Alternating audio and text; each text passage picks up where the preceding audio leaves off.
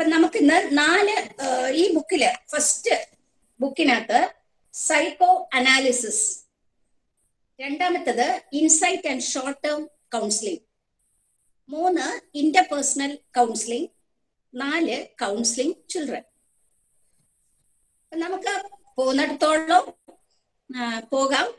ഞാൻ ഇന്ന് ഒന്ന് എക്സ്പ്ലെയിൻ ചെയ്ത് തരാൻ ശ്രമിക്കുകയാണ്.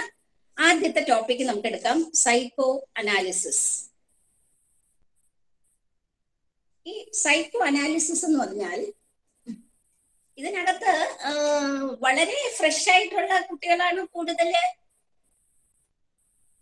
സൈക്കോളജിയുമായിട്ട് നിങ്ങൾക്ക് എന്തെങ്കിലും ഒരു കണക്ഷൻ ഉണ്ടോ? ഒരു ഒരു വർഷത്തെ ടച്ച് ഉണ്ട്. സെക്കൻഡ് ഇയർ ആയി. സെക്കൻഡ് ഇയർ ആണ്. ഓക്കെ അപ്പൊ പിന്നെ കുഴപ്പമില്ല. നമുക്ക് കഴിയുന്നതും ഈ ഓൺലൈന് അതിന്റെതായിട്ടുള്ള ചില കൺസ്ട്രെയിൻസ് ഒക്കെ ഉണ്ട്. പക്ഷെ എങ്കിലും നമുക്ക് കഴിയുന്നതും അത് നമുക്ക് കവർ ചെയ്ത് പോകാൻ നോക്കാം. ആദ്യത്തെ topic psycho analysis psycho analysis എന്ന് പറയുന്നത് നമുക്ക് സൈക്കോളജിയിൽ ഒരു കൗൺസിലിംഗ് നമ്മൾ സ്റ്റാർട്ട് ചെയ്യുമ്പോൾ ഒരു ക്ലയന്റ് നമ്മുടെ മുമ്പിൽ ഒരു പ്രോബ്ലവുമായിട്ട് വരികയാണ് എന്ന് വിചാരിക്കുക. ജസ്റ്റ് ഇമാജിൻ നമ്മൾ അതിനാണല്ലോ പ്രിപ്പയർഡ് ആവുന്നത്. വരുമ്പോ എങ്ങനെ പല ആളുകൾക്കും പല പ്രശ്നങ്ങളായിരിക്കും. അപ്പൊ നമ്മുടെ മുമ്പിൽ വരുന്ന പല ആളുകൾക്കും വ്യത്യസ്തമായ പ്രശ്നമായിട്ട് വരുമ്പോ ഈ പ്രശ്നങ്ങളെ നേരിടാൻ വ്യത്യസ്തമായിട്ടുള്ള അപ്രോച്ചുകളുണ്ട്. ഓക്കെ. ആ അപ്രോച്ചുകളിൽ ഏറ്റവും പ്രഥമവും ഏറ്റവും ഫസ്റ്റ് ഫോഴ്സ് എന്ന് സൈക്കോളജിയിൽ അറിയപ്പെടുകയും ചെയ്യുന്ന ഒരു അപ്രോച്ച് വന്നിട്ടുള്ളത് ഈ സൈക്കോ അനാലിസിസിൽ നിന്നാണ്. അപ്പൊ സൈക്കോ അനാലിറ്റിക്കൽ അപ്രോച്ച് എന്ന് പറയും. അതാണ് നമ്മുടെ ഇന്നത്തെ ഫസ്റ്റ് ക്ലാസ് അതിനു മുമ്പ് ഞാൻ നിങ്ങളോട് എനിക്ക് പറയേണ്ടത് നമ്മുടെ സൈക്കോളജിയുടെ ഗ്രോത്ത് ആൻഡ് ഡെവലപ്മെന്റിൽ സൈക്കോളജി എന്ന് പറയുന്ന വിഷയത്തിന്റെ ഗ്രോത്ത് ആൻഡ് ഡെവലപ്മെന്റിൽ ഏറ്റവും കൂടുതൽ ഈ മേഖലയെ സ്വാധീനിച്ചിട്ടുള്ള മൂന്ന് ഘടകങ്ങളുണ്ട്. മൂന്ന് സ്കൂൾസ് ഓഫ് തിങ്കിങ് ഉണ്ട്. മൂന്ന് ചിന്താഗതികൾ. അതിലെ ഫസ്റ്റ് ഫോഴ്സ് അവരെ ഫോഴ്സ് എന്നാണ് അറിയപ്പെടുന്നത്. കാരണം അത്രയും സമ്മർദ്ദം അല്ലെങ്കിൽ അത്രയും സ്വാധീനം സൈക്കോളജിയിൽ ഉണ്ടാക്കിയെടുക്കാൻ ഇവർക്ക് സാധിച്ചു എന്നുള്ളതാണ് ഈ ഫോഴ്സുകാർക്ക് അതിൽ ഫസ്റ്റ് ഫോഴ്സ് എന്ന് പറയുന്നതാണ് സൈക്കോ അനാലിസിസ് അപ്പൊ രണ്ട് മൂന്ന് പോയിന്റ് ബൈ പോയിന്റ് ആയിട്ടാണ് ഞാൻ പറയാൻ ശ്രമിക്കുന്നത്. നമ്മുടെ മനഃശാസ്ത്ര മേഖലയെ സ്വാധീനിച്ചിട്ടുള്ള മൂന്ന് സ്കൂൾസ് ഓഫ് തിങ്കിങ് അതിനകത്ത് ഫസ്റ്റ് സ്കൂൾ ഓഫ് തിങ്കിങ് ആണ് സൈക്കോ അനാലിസിസ് ഈ സൈക്കോ അനാലിസിസ് രണ്ടാമത്തെ ഫോഴ്സ് എന്ന് പറയുന്നത് ബിഹേവിയറിസം മൂന്നാമത്തെ ഫോഴ്സ് എന്ന് പറയുന്നത് ഹ്യൂമനിസം ഇതിന്റെ ഇടയിൽ ഇതിന്റെയൊക്കെ കോമ്പിനേഷൻ ആയിട്ട് പല സ്ട്രാറ്റജികളും ഉരുത്തിരിഞ്ഞു വന്നെങ്കിലും ഈ മൂന്ന് ഫോഴ്സ് ആയിട്ട് നമ്മൾ അംഗീകരിച്ചിട്ടുള്ളത് ഈ മൂന്നെണ്ണത്തിനെയാണ് the first one is psychoanalysis, second one is behaviorism, and third one is uh, humanism now ഇതിൽ നിന്ന് ഈ മൂന്ന് ഫോഴ്സ് എങ്ങനെയാണ് മനഃശാസ്ത്രത്തിനെ സമീപിക്കേണ്ടതെന്ന് ആളുകളെ പഠിപ്പിച്ചു കൊടുത്ത പ്രിൻസിപ്പിൾസ് അടങ്ങിയിരിക്കുന്നതാണ്. അതിലെ ആദ്യത്തെ ഫോഴ്സ് ആണ് സൈക്കോ അനാലിസിസ് ആ സൈക്കോ അനാലിസിസ് ആണ് ഇന്ന് നമ്മൾ പഠിക്കുന്നത്. അപ്പോ സൈക്കോ അനാലിസിന്റെ പ്രൊപ്പോണന്റ് അല്ലെങ്കിൽ ഫാദർ ഓഫ് സൈക്കോ അനാലിസിസ് എന്ന് പറയുന്നത് സിഗ്മൺ ഫ്രോയിഡാണ്. സിഗ്മൺ ഫ്രോയിഡിനെ പറ്റി പറയുകയാണെങ്കിൽ അദ്ദേഹം ഒരു വലിയ വടവൃക്ഷമാണ്. ആ വടവൃക്ഷത്തിന്റെ കീഴിൽ മറ്റ് വൃക്ഷങ്ങളോ ചെടികളോ വളർന്ന് പന്തലിക്കാൻ സാധിച്ചിരുന്നില്ല എന്നാണ് പറഞ്ഞത്.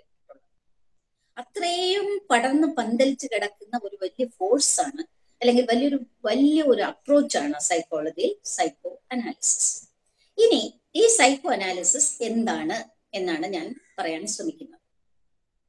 സൈക്കോ അനാലിസിസിന് അദ്ദേഹം സിഗ്മൺ ഫ്രോയിഡ് എക്സ്പ്ലെയിൻ ചെയ്തിരിക്കുന്നത് മൂന്ന് കാര്യങ്ങൾ ഇതിന്റെ പ്രധാനപ്പെട്ട ആസ്പെക്ട്സിൽ വരും.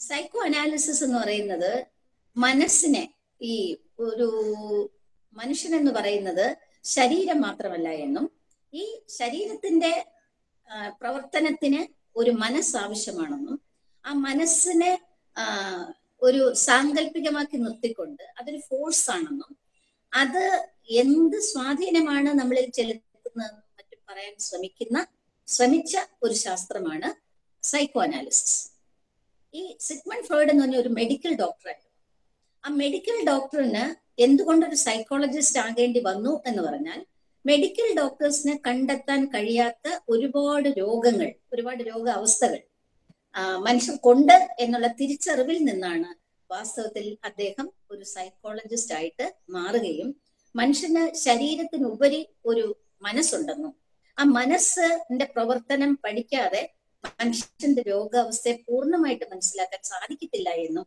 ഒക്കെ ഉള്ളൊരു തീരുമാനത്തിൽ എത്തുകയാണ് ചെയ്തത്. അപ്പോ അദ്ദേഹത്തിന്റെ മനസ്സിനെ സ്ട്രക്ചറാണ് ഞാൻ ആദ്യം പറയാൻ ഉദ്ദേശിക്കുന്നത്. അദ്ദേഹം പറയുന്നത് ഒരു മനുഷ്യന്റെ മനസ്സെന്ന് പറയുന്നത് ഒരു ഐസ്ബർഗ് പോലെയാണ്. ഇതൊരു സാങ്കല്പികമാണ് എങ്കിൽ പോലും അത് വെച്ച് ഒരുപാട് കാര്യങ്ങൾ അദ്ദേഹം എക്സ്പ്ലെയിൻ ചെയ്തിട്ടുണ്ട്. ഒരു ഐസ് പീസ് ഒരു ഐസ്ബർഗ് നമ്മൾ വെള്ളത്തിനകത്ത് ഇട്ടാൽ ഐസ്ബർഗ് വെള്ളത്തിൽ ഇട്ട് കഴിഞ്ഞാൽ ഒരു ചെറിയ ഭാഗം മാത്രമേ വെള്ളത്തിന്റെ പുറത്ത് കാണുള്ളൂ മെജോറിറ്റി ഭാഗം ഐസിന്റെ മെജോറിറ്റി ഭാഗം വെള്ളത്തിന്റെ താഴെ കാണും.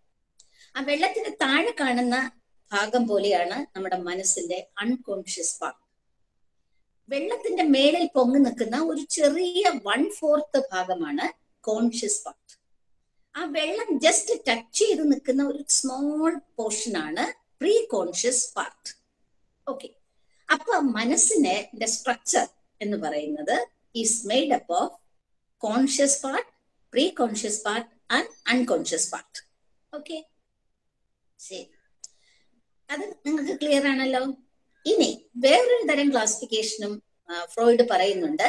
അതിനനുസരിച്ച് ഫ്രോയിഡ് പറയുന്നത് എല്ലാ മനുഷ്യരും എല്ലാ കുഞ്ഞുങ്ങളും ഭൂമിയിലേക്ക് ജനിക്കുമ്പോൾ അവർ ജനിക്കുന്നത് നിറച്ച് ഈഗോ ആയിട്ടാണ്. ഈഗോ എന്ന് ഇവിടെ ഉദ്ദേശിക്കുന്നത് ഫ്രോയിഡിന്റെ ഈഗോ എന്ന് പറയുന്നത് തീർച്ചയായിട്ടും ഈ ലിറ്ററേച്ചറിലുള്ള ഈഗോ അഹങ്കാരം ഒന്നും അല്ല കേട്ടോ. നല്ല ഒരു ഭാഗത്തിനെയാണ് ഫ്രോയിഡ് ഈഗോ എന്ന് പറയുന്നത്. ആ ഈഗോ ഇല്ലാതെ ആണ് കുഞ്ഞുങ്ങൾ ജനിക്കുമ്പോൾ അവർക്ക് ഈഗോ ഇല്ല. അവർക്ക് എന്താണുള്ളത്? അവരുടെ പേഴ്സണാലിറ്റിയിൽ നിറഞ്ഞു നിൽക്കുന്നത് ഇഡാണ് ഈ ഇഡ് എന്ന് പറയുന്നത് പ്ലഷർ പ്രിൻസിപ്പിളിൽ വർക്ക് ചെയ്യുന്ന മനസ്സിന്റെ അല്ലെങ്കിൽ മനുഷ്യന്റെ പേഴ്സണാലിറ്റിയുടെ ഭാഗമാണ്. പ്ലഷർ നമുക്ക് എപ്പോഴും പ്ലഷർ വേണം എന്ന് തോന്നാത്ത ആരുമില്ല. ഇമ്മീഡിയറ്റ് ആയിട്ട് പ്ലഷറിന്റെ പുറകെ ആളുകൾ പോയിക്കൊണ്ടിരിക്കുന്നത് അതുകൊണ്ടാണ്. അങ്ങനെ പ്ലഷറിന്റെ പുറകെ പോകുന്ന ആളുകൾക്ക് കൂടുതലുള്ളത് പേഴ്സണാലിറ്റി ഇഡാണ് അപ്പൊ ഒരു കുഞ്ഞ് ജനിക്കുമ്പോൾ അതിന് വേർതിരിവില്ല വകതിരിവില്ല തിരിച്ചറിവില്ല ഡെവലപ്മെന്റ് ഇല്ല. അതുകൊണ്ട് ആ കുട്ടിയുടെ പേഴ്സണാലിറ്റിയിൽ കാണപ്പെടുന്നത് എന്താണ്? ഇഡാണ് പക്ഷെ ഒരു ചെറിയ ശതമാനം സൂപ്പർ ഈഗോ എന്ന് പറയുന്ന ഒരു സാധനവും ഈ കുഞ്ഞുങ്ങൾക്ക് പേഴ്സണാലിറ്റിയിൽ ഉണ്ടാകും ജനിക്കുമ്പോൾ തന്നെ ഉണ്ടാകും. അതെങ്ങനെയാന്ന് പറഞ്ഞാൽ പാരമ്പര്യത്തിൽ നിന്ന് നമുക്ക് കിട്ടുന്ന നമ്മുടെ മോറൽ വാല്യൂസ് ആണ്. മോറൽ പ്രിൻസിപ്പിൾ അനുസരിച്ച് നമ്മൾ ജീവിക്കാൻ ശ്രമിക്കുമ്പോൾ ആ മനസ്സിന്റെ ഭാഗത്തിനെയാണ് നമ്മൾ സൂപ്പർ ഈഗോ എന്ന് പറയുന്നത്. ഒരു ഉദാഹരണത്തിന് നമ്മൾ ഇങ്ങനെ നടന്നു പോകുമ്പോൾ ഒറ്റയ്ക്കാണ് ഒരു ഇടവഴിയാണ്. അതിനകത്ത് ഒരു സ്വർണമാല കിടക്കുകയാണ്. നമ്മൾ തിരിഞ്ഞ് നോക്കി നാല് ചുറ്റും നോക്കി ആരുമില്ല. നല്ല ഇരുട്ടാണ് സ്വർണമാല ഇവിടെ കിടക്കുക ആദ്യത്തെ നിങ്ങളുടെ ഇമ്പൾസ് എന്തായിരിക്കും? ആ സ്വർണമാല എടുക്കാനായിരിക്കും. ആ സ്വർണമാല നിങ്ങൾ എടുത്ത് എടുക്കത്തില്ല എന്ന് പറയരുത്. അത് സൈക്കോളജി ആയിട്ടുള്ള ആരും വിശ്വസിക്കത്തില്ല. നമ്മുടെ ഇമ്പൾസിവിറ്റി നമ്മുടെ പേഴ്സണാലിറ്റിയിൽ ഒരു മൃഗീയമായ വാസനകൾ ഉറഞ്ഞു കിടപ്പുണ്ട്. ആദ്യത്തെ ഇൻസ്റ്റിങ് എന്ന് പറയുന്നത് അത് പുറത്തു വരാനാണ്. എന്ന് പറഞ്ഞാൽ ഒരു ഫ്രോയിഡ് പറയുന്നത് ഇപ്പൊ ഒരു ഒരു സ്ത്രീയെ കണ്ടാൽ പുരുഷന്മാർക്ക് ആദ്യം ഉണ്ടാകുന്നത് ഒരു സെക്ഷൽ ഇൻസ്റ്റിങ് ആണ്. പിന്നെയാണ് അടുത്ത സ്റ്റേജിലേക്ക് അവർ പോകുന്നത്. ഈ സ്വർണമാല കാണുമ്പം ആളുകൾ ആദ്യം ചെയ്യുന്നത് എടുക്കുക എന്നുള്ളതാണ്. എടുത്തു കഴിഞ്ഞാലോ? ചില ആളുകളിൽ എടുത്താൽ ഭയങ്കര സന്തോഷമായിരിക്കുള്ളൂ. ഒരു സ്വർണമാല കിട്ടി ആരും കണ്ടില്ല രക്ഷപ്പെട്ട് എനിക്ക് ഇത്ര ആവശ്യങ്ങളുണ്ട് ദൈവമായിട്ട് തന്നതാണ്. ഇങ്ങനെയുള്ള കുറെ ജസ്റ്റിഫിക്കേഷൻ നടത്തുന്നത് അവർക്ക് ഇട്ട് കൂടുതലായതുകൊണ്ടാണ്. പക്ഷെ അവരിൽ ഒരു സൂപ്പർ ഈഗോ ഉള്ള ആളുകളാണെങ്കിൽ അവർ ഇമ്മീഡിയറ്റ് ആയിട്ട് അടുത്ത സ്റ്റേജിലേക്ക് ദൈവമേ ആരുടെയോ അല്ലേ? എനിക്കിത് അർഹതപ്പെട്ടതാണോ? ഞാനിത് എടുക്കാമോ? ഞാനിത് തിരിച്ചു കൊടുക്കണ്ടേ? പാവപ്പെട്ട ഏതോ ഒരു മനുഷ്യൻ ഇപ്പൊ കിടന്ന് ദുഃഖിക്കുന്നുണ്ടാവില്ലേ? ഇത് എവിടെ നിന്ന് വരുന്ന ചിന്തയാണ്? നിങ്ങളുടെ പേഴ്സണാലിറ്റിയിൽ നിന്ന് നിങ്ങളുടെ സൂപ്പർ ഈഗോ നടക്കുന്ന ഒരു ചിന്തയാണ്. അപ്പൊ ഇഡ് എന്താണ് പേഴ്സണാലിറ്റിയിൽ ചെയ്യുന്നതെന്നും പ്ലഷറിന്റെ പുറകെ പോകും. മോറലിന്റെ പുറകെ പോകുന്നതാണ് ധാർമ്മികത്വത്തോടുകൂടി നമ്മൾ ചിന്തിക്കാൻ നമ്മളെ പ്രേരിപ്പിക്കുന്ന നമ്മുടെ മനസ്സിന്റെ ഭാഗമാണ് സൂപ്പർ ഈഗോ ഇനി ഇത് ഈ ഒരു കോൺഫ്ലിക്റ്റ് തീർച്ചയായിട്ടും ഉണ്ടാകുമല്ലോ. ഇഡ് സൂപ്പർ ഈഗോ രണ്ടും കോൺഫ്ലിക്റ്റ് ആണ്. ഇഡ് എടുക്കാൻ പറയും സൂപ്പർ ഈഗോ വേണ്ടെന്ന് പറയും. ഇഡ് അതിന്റെ ന്യായങ്ങൾ പറയും സൂപ്പർ ഈഗോ അവരുടെ ന്യായങ്ങൾ നീ മാല എടുത്തോ? ഇത് കളഞ്ഞു കിടക്കുന്നതല്ലേ? എടുത്തോ? എന്ന് പറയുന്ന ഇതാണ്. നീ എടുക്കണ്ട. കാരണം അത് കളഞ്ഞാലും കളഞ്ഞില്ലെങ്കിലും നിന്റെതല്ലല്ലോ. ആ ഇനി അപ്പൊ ഇഡ് പറയാണ് എടുത്തു. ഞാനിങ്ങ് എടുത്തു. കാരണം ഇഡിങ്ങനെ മുമ്പിൽ നിൽക്കുകയാണ്. അപ്പൊ സൂപ്പർ ഇഗോ പറയാണ് എടുത്ത സ്ഥിതിക്ക് ഇനി നമുക്ക് അതിന്റെ ഓണറിനെ കൊണ്ട് കൊടുക്കാം. ഓണറിനെ എവിടെ അന്വേഷിക്കാനാണ്? ഇഡ് എന്നാ പോലീസ് സ്റ്റേഷനിൽ കൊടുക്കാം സൂപ്പർ ഈഗോ ഇഡ് പറയാണ്. പോലീസ് സ്റ്റേഷൻ കൊടുത്താൽ ആ പോലീസ് അടിച്ചു മാറ്റും. ഇതെല്ലാം എങ്ങനെ നടന്നുകൊണ്ടിരുന്നാൽ നിങ്ങൾ എവിടെങ്കിലും എത്തുമോ ഒരു തീരുമാനം എടുക്കാൻ നിങ്ങളെ കൊണ്ട് സാധിക്കുമോ ഇല്ലാതെ വരുമ്പോ ഈഗോയും സൂപ്പർ ഈഗോയും തമ്മിൽ നിരന്തരം കോൺഫ്ലിക്റ്റുകൾ സാധാരണമാണ്. അതേസമയത്ത് ഇഡിനെ നമ്മൾ ആഹ് അതിജീവിച്ച വളരെ സ്വാത്വികരായിട്ടുള്ള മനുഷ്യർക്കാണെങ്കിൽ ഈ പ്രോബ്ലം ഇല്ല. അവരുടെ മോറൽ പ്രിൻസിപ്പിൾ വളരെ സ്ട്രോങ് ആണെങ്കിൽ. പക്ഷെ മിക്കവാറും മനുഷ്യരല്ലേ? മനുഷ്യരുടെ ഇഡും സൂപ്പർ ഈഗോയും ഈക്വൽ ആയിട്ട് നിൽക്കുന്ന സമയത്ത് ഇങ്ങനെയുള്ള യുദ്ധം സമയം വരുന്ന സമയത്ത് ഒരു തീരുമാനം എടുക്കേണ്ടി വരുമ്പോ ആരാണ് അവിടെ ഇടപെടുന്നത്? വളരെ യുക്തിയോടെ ചിന്തിക്കുന്ന പേഴ്സണാലിറ്റിയുടെ ഒരു ഭാഗമുണ്ട്. അതിനെയാണ് നമ്മൾ ഈഗോ എന്ന് പറയുന്നത്. ഈഗോ ഇടപെടും. ഈഗോ ഇടപെട്ടിട്ട് അപ്പോഴത്തെ യുക്തി കാരണം നിങ്ങൾക്ക് ആ മാലയ്ക്ക് അത്ര ഭയങ്കര ആവശ്യം ഉണ്ട് എങ്കിൽ അത് ഇഡിന്റെ കൂടെ നിന്നിട്ട് ഒരു തീരുമാനം. ഇല്ല അപ്പോഴതല്ല ആ മനുഷ്യന് തന്നെ കൊടുക്കാം എന്ന ഒരു യുക്തിയോടെ അതായത് യുക്തി റിയാലിറ്റി പ്രാക്ടിക്കൽ അങ്ങനെയൊക്കെ ചിന്തിക്കുന്ന ഒരു പ്രോബ്ലം സോൾവിങ് ഡിസിഷൻ മേക്കിംഗ് അങ്ങനെയുള്ള ഒരുപാട് കാര്യങ്ങൾ ചെയ്യുന്ന നമ്മുടെ മനസ്സിന്റെ ഭാഗത്തിനെയാണ് നമ്മൾ എന്തു പറയുന്നത്? ഈഗോ അപ്പൊ ഇപ്പൊ മനസ്സിന്റെ മൂന്ന് ഭാഗം നിങ്ങൾക്ക് ക്ലിയർ ആയല്ലോ? Id ego super ego id എന്ന് പറയുന്നത് pleasure super ego moral and അതിന്റെ നടുക്കുള്ള ഈഗോ പ്രാക്ടിക്കൽ റിയാലിറ്റി പ്രിൻസിപ്പിൾ ഇത് ക്ലിയർ ആയാൽ ഫ്രോയിഡ് പറയുന്നത് എപ്പോഴും മനുഷ്യരുടെ ഇടയിൽ ഈഗോയും അല്ല സൂപ്പർ ഈഗോയും ഇഡും തമ്മിൽ കോൺഫ്ലിക്റ്റ് ഉണ്ടായിക്കൊണ്ടിരിക്കും. ഈഗോ അപ്പൊ തീരുമാനം എടുക്കും. പക്ഷെ എപ്പോഴും ഈഗോയുടെ തീരുമാനങ്ങൾ ശരിയായിക്കൊള്ളണമെന്നില്ല കാരണം അത് എടുക്കുന്ന തീരുമാനം നമ്മുടെ ജീവിതത്തിന് പ്രാക്ടിക്കൽ ആയിട്ടുള്ള തീരുമാനങ്ങളാണ് എടുക്കുന്നത്. അപ്പോ പ്രാക്ടിക്കൽ ആയിട്ട് നമ്മൾ തീരുമാനം എടുക്കേണ്ടി വരുമ്പോ എന്ത് സംഭവിക്കും? ചിലപ്പോൾ നമ്മുടെ തീരുമാനങ്ങൾ തെറ്റായി പോകും. ചിലപ്പോൾ നമ്മളുടെ തീരുമാനങ്ങൾ ശരിയായി വരും. ഈ തെറ്റാകുമ്പോ മനുഷ്യർക്ക് പിന്നെ ഒരു തരം കുറ്റബോധം തോന്നും. അത് ചെയ്യണ്ടായിരുന്നു. നമ്മൾ ആ മാല എടുത്തു. മാലയുടെ ഉദാഹരണം തന്നെ ഞാൻ പറഞ്ഞുകൊണ്ടിരിക്കാം. മല എടുത്തു അന്ന് പ്രാക്ടിക്കലായിട്ട് പറഞ്ഞത് നിന്റെ അമ്മയ്ക്ക് ഒരു ഓപ്പറേഷൻ അല്ലേ? അപ്പൊ ഇപ്പൊ പൈസ വേണ്ടേ? നീ കൂടുതൽ ആലോചിക്കണ്ട. പൈസ എടുത്ത് അമ്മയുടെ ഓപ്പറേഷൻ നടത്തുക എന്ന് ഈഗോ പറഞ്ഞു. നമ്മൾ മാല എടുത്തു ഓപ്പറേഷൻ നടത്തി. പക്ഷേ അത് കഴിയുമ്പോഴെല്ലാം നമ്മുടെ ഉള്ളിൽ ഒരു കുറ്റബോധം. വേറെ ആരുടെയോ ഒരു മാല. അവർക്ക് എന്തെല്ലാം ആവശ്യങ്ങൾ ഉണ്ടായിരിക്കും അതെടുത്ത് ഞാൻ എന്റെ അമ്മയെ ചികിത്സിച്ചല്ലോ. ആ ഒരു ഇതിനാണ് ഈഗോ കോൺഫ്ലിക്ട്സ് എന്ന് പറയുന്നത്.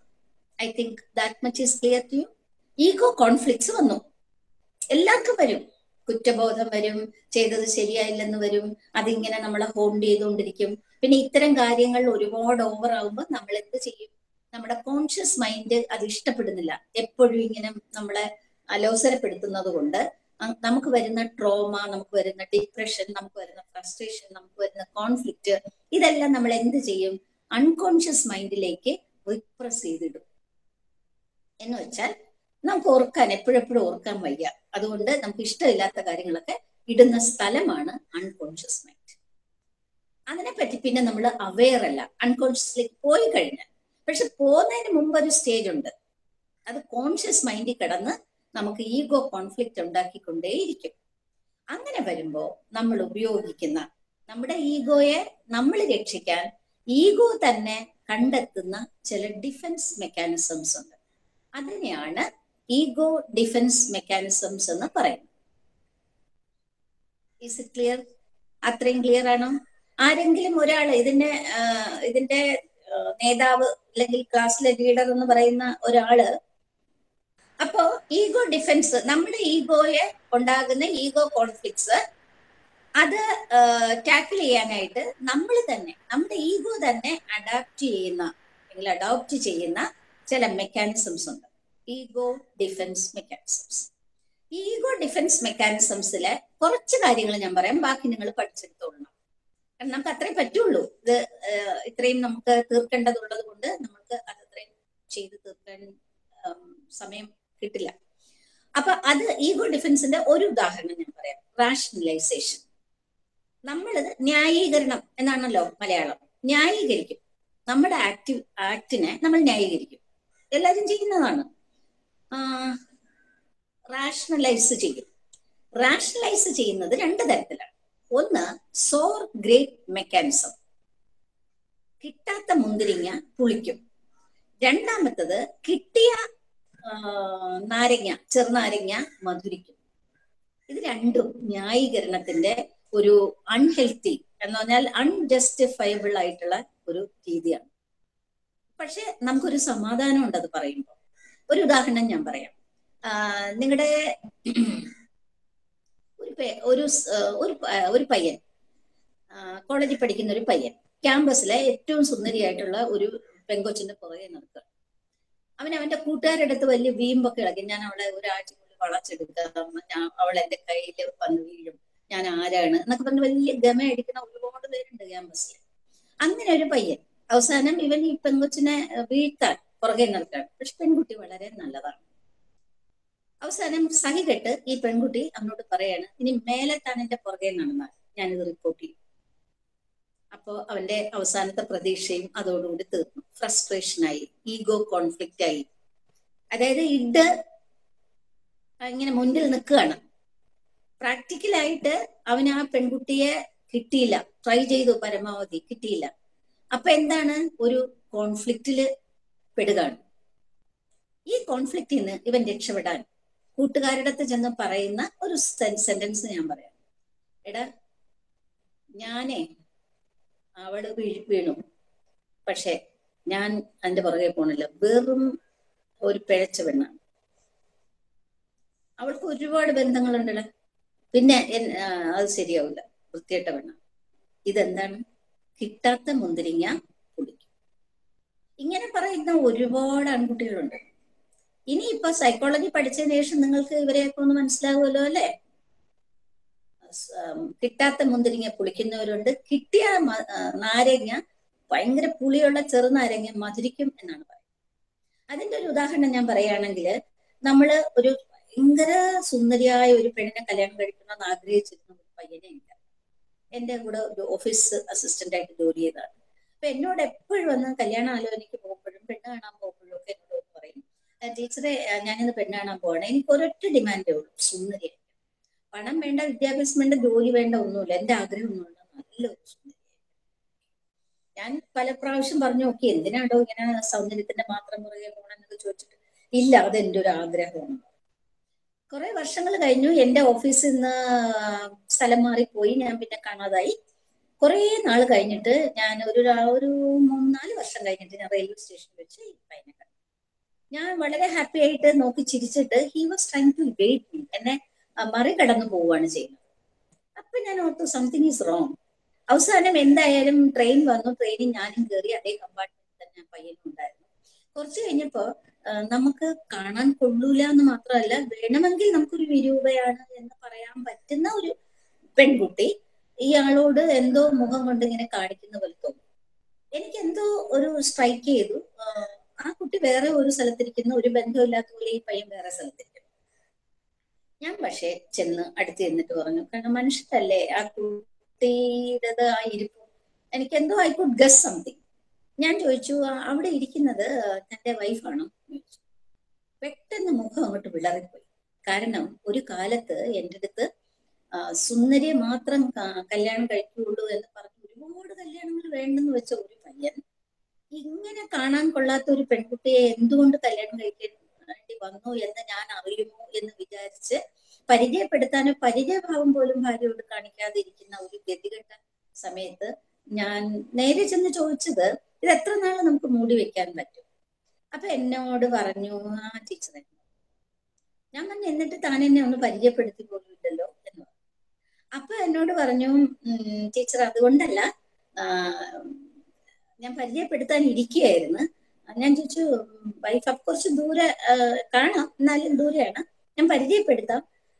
പിന്നെ ടീച്ചർ ഇപ്പൊ വിചാരിക്കായിരിക്കും ഇങ്ങനെയുള്ളൊരു പെണ്ണിനെയാണോ ഇവൻ അവസാനം കല്യാണം കഴിച്ചതെന്ന്. പക്ഷെ ടീച്ചർ എന്ത് നല്ല സ്വഭാവമാണെന്ന് അറിയാമോ നമ്മൾ ഒരിക്കലും സൗന്ദര്യമുള്ള പെണ്ണുങ്ങളെ കല്യാണം കഴിക്കാൻ പാടില്ല. കാരണം സൗന്ദര്യമുള്ള പെണ്ണുങ്ങളെ നമുക്ക് വിശ്വസിക്കാൻ പറ്റില്ല. അവരുടെ സ്വഭാവം എന്താണ്? അവരുടെ പുറകെ കുറെ ആണുങ്ങൾ കാണും പിന്നെ അവർക്കൊരു അഹങ്കാരം കാണും. പക്ഷെ ഇതാണെങ്കിൽ എന്റെ ഭാര്യ ആയതുകൊണ്ട് പറയല്ല ഭയങ്കര നല്ല സ്വഭാവം.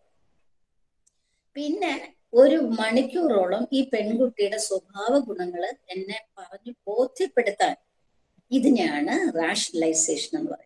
അതിൽ നിന്ന് ഒരു സൈക്കോളജിസ്റ്റ് ആയിട്ടുള്ള ഞാനും നിങ്ങളും മനസ്സിലാക്കേണ്ടത് he still very much frustrated okay ഇതാണ് റാഷണലൈസേഷൻ നമ്മുടെ ഈഗോ ഒരു തീരുമാനം എടുത്തു കഴിഞ്ഞാൽ അല്ലെങ്കിൽ നമുക്ക് ഒരു തീരുമാനം എടുക്കേണ്ടി വന്നപ്പോ അയാൾക്ക് അപ്പൊ എന്നെ കല്യാണം കഴിക്കേണ്ടി വന്നു? ഏതൊരു സാഹചര്യത്തിൽ. പിന്നെ ന്യായീകരിക്കുക എന്നുള്ളതാണ്. ആ ന്യായീകരണത്തിന് രണ്ട് തരമുണ്ട്. കിട്ടാത്തതിനെ ആക്ഷേപിച്ച് പറയുക കിട്ടിയതിനെ പുകഴ്ത്തി പറയുക. ഇത് രണ്ടും റാഷണലൈസേഷൻ അതേപോലെ പ്രൊജക്ഷൻ പ്രൊജക്ഷൻ എന്ന് പറഞ്ഞാൽ നമുക്ക് നിരാശ തോന്നുന്ന ഒരു കാര്യം മോശമായിട്ടോ നല്ലതായിട്ടോ മറ്റുള്ളവരിൽ പ്രൊജക്ട് ചെയ്ത് കാണുക. കാരണം എന്റെ ഭർത്താവ് എന്നെ ഹെൽപ്പ് ചെയ്യുന്നില്ല അടുക്കളയിലൊന്നും. അതിൽ എനിക്ക് ഭയങ്കര ദുഃഖമുണ്ട്. എങ്കിൽ ഈ ഭർത്താവ് ഹെൽപ്പ് ചെയ്യുന്ന ഭാര്യമാരെ ആക്ഷേപിച്ചു പറയുക projection you are projecting your frustration on someone else in a different way that is projection അപ്പോ പിന്നെ ഒരുപാട് കാര്യങ്ങളുണ്ട്. വിഡ്രോയൽ ചില ആളുകൾ അതിൽ നിന്ന് കംപ്ലീറ്റ് ആയിട്ട് വിഡ്രോ ചെയ്തിട്ടും ചില ആളുകൾ സബ്സ്റ്റിറ്റ്യൂഷൻ എന്ന് പറഞ്ഞാൽ നമ്മുടെ നിരാശയുള്ള കാര്യങ്ങൾ വേറെ നല്ല കാര്യങ്ങൾ വെച്ച് നമ്മൾ സബ്സ്റ്റിറ്റ്യൂട്ട് ചെയ്യും. സബ്ലിമേഷൻ സബ്ലിമേഷൻ എന്ന് പറഞ്ഞാൽ നമുക്ക് കിട്ടാതെ പോയ ഒരു കാര്യം വലിയൊരു ഹയർ ലെവലിലേക്ക് നമ്മൾ കൊണ്ടുപോകും. എന്ന് പറഞ്ഞാൽ മക്കളില്ല എന്ന് വിചാരിക്കുക. മക്കളില്ല എങ്കിൽ നമ്മൾ ഒരു കുട്ടിയെ അഡോപ്റ്റ് ചെയ്യുന്നതാണ് സബ്ഡിമിഷൻ അപ്പോൾ your ego is satisfied I have done something good വേറെ ചില ആളുകൾ ഈ സബ്ലിമേഷന് പകരം ചെയ്യുന്നത് ഡിസ്പ്ലേസ്മെന്റ് നമ്മൾ പറയില്ലേ അങ്ങാടി തോറ്റാൽ അമ്മയോടെന്ന്. എന്ന് പറഞ്ഞാൽ നമുക്ക് പറ്റാത്ത ചില കാര്യങ്ങൾ വേറെ ചില സ്ഥലത്ത് നമ്മളത് ഇനി ഞാൻ കൂടുതൽ അങ്ങോട്ട് പോകുന്നില്ല. നമ്മൾ ഇപ്പൊ നിങ്ങൾക്ക് ഏകദേശം ഫ്രോയിഡിന്റെ അപ്രോച്ച് മനസ്സിലായല്ലോ? ഒരാൾ നമ്മുടെ മുമ്പിൽ വന്നിരുന്നിട്ട് ഒരു ക്ലയന്റ് ഒരുപാട് ജസ്റ്റിഫൈ ചെയ്യുമ്പോൾ you have to understand there is something frustration or conflict going on in her or in him അതേപോലെ പ്രൊജക്ട് ചെയ്തുകൊണ്ടിരിക്കുകയാണ്. ഒരു ഭർത്താവ് ഭാര്യയെ സഹായിക്കുന്നതിന് വേറൊരു സ്ത്രീ വന്നിരുന്നുകൊണ്ട് അയ്യോ ഇത്ര ഒരു പെൺകൊന്തനുണ്ടോ? ഈ പെൺകൊന്തന്മാരെ എനിക്ക് ഇഷ്ടമല്ല പെൺകൊന്തന്മാരാണ് ഇതൊക്കെ. എന്തിനാണ് ഇങ്ങനെ ആ പെണ്ണുങ്ങളുടെ പുറകെ നടക്കുന്നത്? എന്നൊക്കെ ഒരു സ്ത്രീ ആവർത്തിച്ചു പറഞ്ഞാൽ she has some problem with her husband എന്ന് ഊഹിക്കാനുള്ള ക്ലാസ് ആയോ? അപ്പോ അത് അതിനായിട്ട് സൈക്കോളജി പഠിക്കുന്ന അതിനാണ് കേട്ടോ. ജീവിതത്തിൽ പകർത്തണം കൗൺസിലിംഗിൽ അപ്ലൈ ചെയ്യണം. അപ്പൊ സൈക്കോ അനാലിസിസ് പഠിച്ചു കഴിഞ്ഞാൽ അൺകോൺഷ്യസ് മൈൻഡിൽ കിടക്കുന്ന റിസർവയറിനെ കുറിച്ച് നിങ്ങൾക്കറിയാം. റിസർവയർ ഓഫ് ഡിപ്രസ്ഡ് വിഷസ് എന്നാണ് പറയുന്നത്. നമ്മുടെ സബലീകരിക്കപ്പെടാത്ത ആഗ്രഹങ്ങൾ നമ്മൾ ഓർക്കാൻ ഇഷ്ടപ്പെടാത്ത നമ്മുടെ വേദനകൾ നമ്മൾ അണ്ടർഗോ ചെയ്യുന്ന നിരന്തരമായ കോൺഫ്ലിക്റ്റുകൾ ഇതെല്ലാം നമ്മൾ സഹികെട്ട് ഡിസ്പ്ലേസ് ചെയ്യാനും റാഷണലൈസ് ചെയ്യാനും ഡിഫൻസ് മെക്കാനിസം വഴി കുറെ നോക്കും. ഓക്കെ ഡേ ഡ്രീമിങ് ദിവാ സ്വപ്നം കാണും എല്ലാവർക്കും നമുക്ക് ദുൽഖർ സൽമാനെ കല്യാണം കഴിക്കാൻ പറ്റും പക്ഷെ അങ്ങനോട് ഭയങ്കര സ്നേഹവും ആഗ്രഹവുമുള്ള ചില പെൺകുട്ടികൾ അങ്ങനെ ഇരുപത്തിനാല് മണിക്കൂർ അങ്ങേരെ സ്വപ്നം കണ്ടുകൊണ്ടിരിക്കും. സാറ്റിസ്ഫാക്ഷൻ അത് ഒരു തരത്തിലുള്ള മനസ്സിന്റെ ഡിഫൻസ് മെക്കാനിസം ആണ് ഈവൻ ഡേ ഡ്രീമിങ് ഒരുപാടുണ്ട്. നിങ്ങൾ എടുത്തു വെച്ച് വായിക്കണം. പുസ്തകങ്ങൾ വായിക്കാതെ ഒരു ഇഗ്നോന്റെ ക്ലാസ്സും കഴിഞ്ഞിട്ട് കഴിഞ്ഞു എന്ന് പറഞ്ഞ് ഇരിക്കരുത് കേട്ടോ. നമ്മളൊരു സ്കെലിറ്റൺ ആണ് തരുന്നത്. അതിൽ ഫ്ലഷും ബ്ലഡും ഒക്കെ ഇട്ട് ഫീൽ ചെയ്യാനുള്ള ഉത്തരവാദിത്തം നിങ്ങൾ കാണിച്ചില്ലെങ്കിൽ ഈ ഇഗ്നോയുടെ കോഴ്സ് കൊണ്ട് നിങ്ങൾക്ക് ആ സച്ച് പ്രയോജനമൊന്നും ഉണ്ടാവില്ല എന്ന് ഞാൻ ആവർത്തിച്ച് ഓർമ്മിപ്പിക്കുക. നമുക്കൊരു ഉത്തരവാദിത്വമുണ്ട്.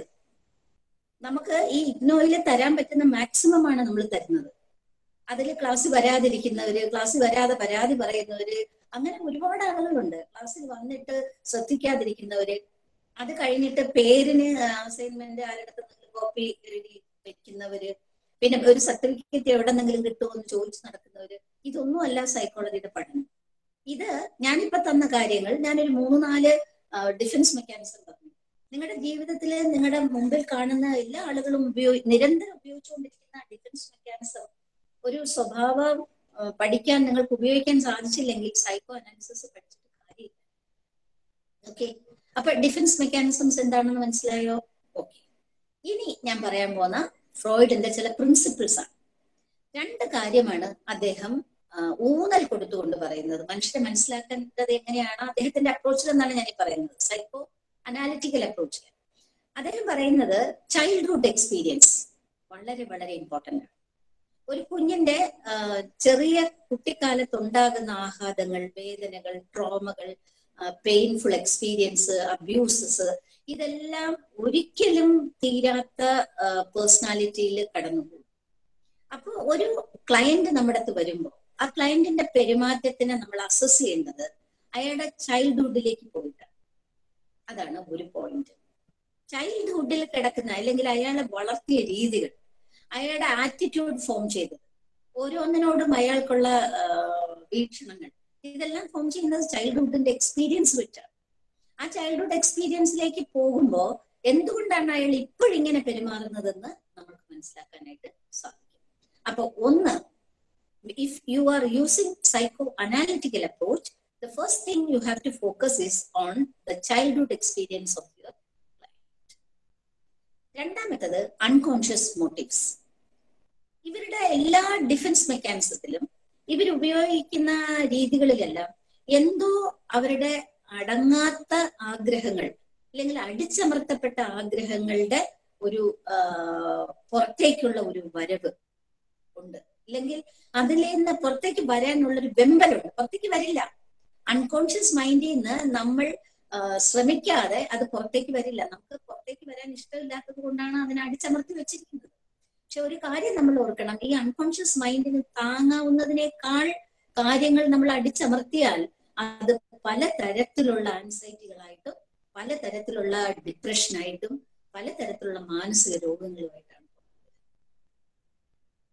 അപ്പൊ ഒന്നുകിൽ ഡിഫൻസ് മെക്കാനിസം ആയിട്ട് അത് പുറത്തു പോട്ടെ. ആരെങ്കിലും അനാവശ്യം പറഞ്ഞു ആരെങ്കിലും അപവാദം പറഞ്ഞു ഒക്കെ ആളുകൾ സന്തോഷമായിട്ട് ജീവിക്കുന്ന കണ്ടില്ലേ? കാരണം എന്തെന്ന് വെച്ചാൽ അവരുടെ ഫ്രസ്ട്രേഷൻ അവർ തീർക്കുകയാണ് ഇനി അങ്ങനെയും ചെയ്യാൻ കഴിവില്ലാത്തവര് ഒരു ദിവാസ്വപ്നം കഴിഞ്ഞാൽ എന്തോ അടി ഇങ്ങനെ ആരെ ഒത്തുകൊണ്ട് അടിയിരിക്കുന്നതെന്ന് പറഞ്ഞ് അടി കൊടുക്കുന്ന വീട്ടിലാണെങ്കിൽ ദിവാസ്വപ്നവും കാണാൻ പറ്റില്ല. അപ്പൊ പിന്നെ അത് അൺകോൺഷ്യസ് മൈൻഡിലേക്ക് അടിച്ചമർത്തപ്പെടും. ഒരു വാക്ക് പോലും മിണ്ടാൻ സ്വാതന്ത്ര്യം ഇല്ലാത്ത ഭാര്യമാരുണ്ട് പല വീട്ടിലും അവരവരുടെ ആഗ്രഹങ്ങളും അവരുടെ രീതികളും അൺകോൺഷ്യസ് മൈൻഡിലേക്ക് അതാണ് കുറെ നാൾ കഴിയുമ്പോൾ മാനസികമായ സൈക്കോസൊമാറ്റിക് ഇൽനസ് എനിക്കിവിടെ വേദന അർദ്ധവേദന നടുവേദന തലവേദന. പോയി പരിശോധിപ്പിക്കുമ്പോഴോ? ഇതൊന്നുമില്ല. ഇതൊന്നുമില്ല. ഇതിന് ഇവർക്ക് മനസ്സിനാണ് പ്രോബ്ലം ഈ ഡോക്ടർമാർക്കും അറിയില്ല ഇവർക്ക് എന്തിനാണ് പ്രോബ്ലം അപ്പൊ എന്തായാലും നിങ്ങൾ മനസ്സിലാക്കേണ്ട ഒരു കാര്യം. ഒന്നാലോചിച്ച് നോക്ക്. എത്ര മാനസിക രോഗികൾ? സൈക്കോസൊമാറ്റിക് ഇൽനെസ് ഉള്ള ആളുകൾ ആൻസൈറ്റി ഡിസോർഡേഴ്സ് ഉള്ളവർ പലതരത്തിലുള്ള ന്യൂറോട്ടിക് ആയിട്ടുള്ളവരെല്ലാം ഇതെല്ലാത്തിന്റെ അടിസ്ഥാനപരമായ കാരണം കെട്ടിക്കിടക്കുന്ന അൺകോൺഷ്യസ് മൈൻഡിൽ താങ്ങാനാവാത്ത ദുരിതങ്ങളും ദുഃഖങ്ങളുമാണ്. Clear how to approach a problem from the point of view of psychoanalysis? അദ്ദേഹം പറയുന്ന രണ്ട് കാര്യങ്ങൾ നിങ്ങൾക്ക് മനസ്സിലായല്ലോ. ഒന്ന് ചൈൽഡ്ഹുഡ് എക്സ്പീരിയൻസ് രണ്ട് അതാണ് ഇതെല്ലാം ഈ കോൺഫ്ലിക്റ്റ് മതം മോറൽ വാല്യൂസും അതും ഇതും എല്ലാം ക്രിയേറ്റ് ചെയ്യുന്നത്. രണ്ടാമത്തെ ഒരു പോയിന്റ് എന്ന് പറയുന്നത് അൺകോൺഷ്യസ് മൈൻഡിലേക്ക് പോകേണ്ടി വരുന്ന അവസ്ഥ. അപ്പൊ തീർച്ചയായിട്ടും വ്യക്തികൾ ഒരുപാട് സഫർ ചെയ്യുമ്പോഴാണ് നമ്മൾ അൺകോൺഷ്യസ് മൈൻഡിലേക്ക് പോകുന്നത്. ഇനി അദ്ദേഹം മൂന്നാമത് പറയുന്ന ഒരു കാര്യം സെക്ഷുവാലിറ്റിയെ കുറിച്ചാണ് അപ്പൊ ഒന്ന് ചൈൽഡ്ഹുഡ് എക്സ്പീരിയൻസ് രണ്ട് അൺകോൺഷ്യസ് മൂന്ന് സെക്ഷുവാലിറ്റി സെക്ഷുവാലിറ്റി എന്ന് പറയുന്നത് അദ്ദേഹം അടി ഉറച്ചു വിശ്വസിക്കുന്ന ഒരു കാര്യം man is basically a sexual അവന് മുമ്പേ ഞാൻ ആദ്യം പറഞ്ഞല്ലോ ഇഡ് എന്ന് പറയുന്നത് നമ്മുടെ പേഴ്സണാലിറ്റിയിൽ ഉള്ളിടത്തോളം കാലം ഈ സെക്ഷൽ ഇൻസ്റ്റിങ് എന്ന് പറയുന്നത് സമൂഹം ഫോർബിഡൻ ആയിട്ടുള്ള അല്ലെങ്കിൽ സമൂഹം അപ്രൂവ് ചെയ്യാത്ത അല്ലെങ്കിൽ അൺഡിസൈറബിൾ ആണെന്ന് വിചാരിക്കുന്ന ഒരു കാര്യമാണ് സെക്ഷുവാലിറ്റി ഇപ്പോഴും എപ്പോഴും. കാരണം ഏത് കാലഘട്ടത്തിലും ഇപ്പൊ സെക്സ് എന്ന് പറയാൻ തന്നെ മടി ഇപ്പോഴും ആളുകൾക്കുണ്ട്. ഇപ്പൊ എന്റെ അടുത്ത് കൗൺസിലിങ്ങിന് വരുന്ന പല ആളുകളും ഒരു നിങ്ങൾക്ക് എന്തെങ്കിലും സെക്ഷൽ പ്രോബ്ലം ഉണ്ടോ എന്ന് ചോദിച്ചാൽ ഇല്ല. കാരണം സെക്ഷൽ പ്രോബ്ലത്തിനെ കുറിച്ച് പറയുന്നത് തന്നെ ടാബുവാണ് എന്ന് വിചാരിക്കുന്നു. സെക്സ് എന്ന് പറയുന്നത് എന്തോ വൃത്തികേടാണ് എന്ന് വിചാരിക്കുന്നു. അങ്ങനെയാണല്ലോ നമ്മൾ കുട്ടികളെ വളർത്തുന്നത്. ഒരു ആൺകുട്ടി പെൺകുട്ടി വീട്ടിൽ വളർന്നു വരുമ്പോൾ തന്നെ അമ്മമാർക്ക് അൻസൈറ്റി വന്നില്ലേ? ഏതെങ്കിലും ആൺകുട്ടിയോട് ഇങ്ങനെ മിണ്ടുന്ന കണ്ടു കഴിഞ്ഞാൽ നീ എന്തുവാടി അവനോട്? It is all related to sexuality അപ്പൊ ആ സെക്ഷുവാലിറ്റി എന്ന് പറയുന്നത് മനുഷ്യന്റെ ഉള്ളിൽ ഇങ്ങനെ കിടക്കുവാണ്. അതൊരു ഇഡാണ് അപ്പൊ ഇറ്റ് ഈസ് സോഷ്യലി അൺഡിസൈറബിൾ അങ്ങനെ സോഷ്യലി അൺഡിസൈറബിൾ ആയിട്ടുള്ള ഒരു കാര്യം നിങ്ങളൊന്ന് ആലോചിച്ച് നോക്കുക. ഇത് സ്റ്റോപ്പ് സ്റ്റോപ്പ് ചെയ്യാൻ ശ്രമിക്കും തോറും ഇങ്ങനെ കൂടി കൂടി വരും. അപ്പം നമ്മുടെ അൺകോൺഷ്യസ് മൈൻഡിലേക്ക് ഏറ്റവും കൂടുതൽ സപ്രസ് ചെയ്യുന്നത് സെക്ഷുവൽ ഫീലിങ്സും സെക്ഷുവൽ ഫ്രസ്ട്രേഷൻസും ഇപ്പൊ ഞാൻ പറഞ്ഞല്ലോ ആരെങ്കിലും കാണുമ്പോൾ ഒരു സെക്ഷൽ ഫീലിംഗ് ഒരാൾക്ക് തോന്നിയാൽ നമ്മുടെ നാട്ടിൽ അത് പോസിബിൾ ആണോ? എനിക്ക് നിങ്ങളോട് ഒരു സെക്ഷൽ അട്രാക്ഷൻ ഉണ്ട്. നമുക്കൊരു സെക്ഷൽ ഒരു റിലേഷൻഷിപ്പ് ആയിക്കൂടെ എന്ന് ചോദിക്കാൻ പറ്റുമോ? ഇല്ല. പക്ഷെ അയാൾ ഇങ്ങനെ അതിങ്ങനെ മനസ്സിലിട്ട് പക്ഷെ ഒക്കെ ചെയ്ത് കഴിഞ്ഞില്ലേ? മനസ്സിൽ തോന്നിയില്ലേ? ആ മനസ്സിൽ തോന്നിയാൽ ഫ്രോയിഡ് പറയുന്ന ഒരു കാര്യം there are no doors or windows for the mind മനസ്സിന് വിൻഡോയും ഇല്ല ഡോറും ഇല്ല. ഒരിക്കലും അത് അൺകോൺഷ്യസ് മൈൻഡിലേക്ക് പോയാൽ അത് പുറത്തു പോകുന്നത് പിന്നെ വളരെ ദുർഘടം പിടിച്ച രീതിയിലാണ് അതാണ് മാനസിക രോഗങ്ങൾ എന്ന് പറയുന്നത്. അപ്പൊ ആ ലെവലിലേക്ക് പോകരുത്. അത് ഡിസ്പ്ലേസ് ചെയ്യണം. ഇപ്പൊ ഒരു ഒരാളോട് സെക്ഷൽ ഫീലിംഗ് തോന്നിയാൽ അത് ഫ്രണ്ട്സിനോടെങ്കിലും പറഞ്ഞു തീർക്കുന്നവർക്ക് ഈ അൺകോൺഷ്യസിലേക്ക് സബ്സൈഡ് ചെയ്ത് പോവില്ല. അത് അതുകൊണ്ടാണ് നമ്മൾ ഓപ്പൺ ആവണം നമ്മൾ നമുക്ക് ഫ്രണ്ട്ഷിപ്സ് വേണം നമ്മൾക്ക് കമ്മ്യൂണിക്കേറ്റ് ചെയ്യണം. ആ ഒരു അപ്രോച്ച് ലേക്ക് എല്ലാ തെറാപ്പികളും പോകുന്നതിന്റെ രഹസ്യം അതാണ്. അൺകോൺഷ്യസ് മൈൻഡിലേക്ക് നമ്മൾ പോകാൻ പാടില്ല. ഓക്കെ അപ്പോൾ എന്താണ് മൂന്നാമത്തെ കാര്യം? സെക്ഷൽ ആലിറ്റി വളരെ സെൻസിറ്റീവ് ആണ്. ഒരുപാട് സെക്ഷൽ ഫീലിങ്സ് ഉണ്ട്. സെക്ഷൽ ഫീലിങ്സ് എല്ലാം തന്നെ അൺഡിസൈറബിൾ ആണ്. ഇപ്പൊ ഒരു സ്റ്റുഡന്റിനെ ഒരു അധ്യാപികയോട് തോന്നുന്ന സെക്ഷൽ അപ്പൊ ആ സ്റ്റുഡന്റിന് അപ്പൊ തന്നെ ഗിൽറ്റ് ഫീലിംഗ് വരും. ദൈവമേ എന്റെ ടീച്ചറാണ് എന്റെ അമ്മയെ പോലെയാണ് ഞാൻ ഇങ്ങനെ വിചാരിച്ച തെറ്റായി പോയി. അത് അവനെ ഇങ്ങനെ വേവലാതിപ്പെടുത്തുമ്പോ അവനെ ഒരു കൂട്ടുകാരനോട് പോലും ഷെയർ ചെയ്യാൻ പറ്റാതെ വരുമ്പോ അവനെ അൺകോൺഷ്യസ് മൈൻഡിലേക്ക് സപ്രസ് ചെയ്തു വിടും.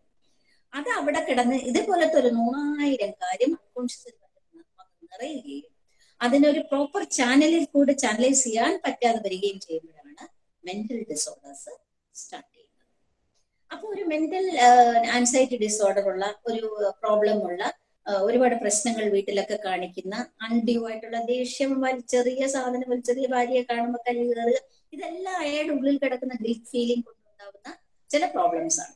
അപ്പൊ അങ്ങനെയൊക്കെ വരുമ്പോ നമ്മൾ ആ പ്രോബ്ലത്തിന് ഈ മൂന്ന് കാര്യം വെച്ച് അപ്രോച്ച് ചെയ്യണം.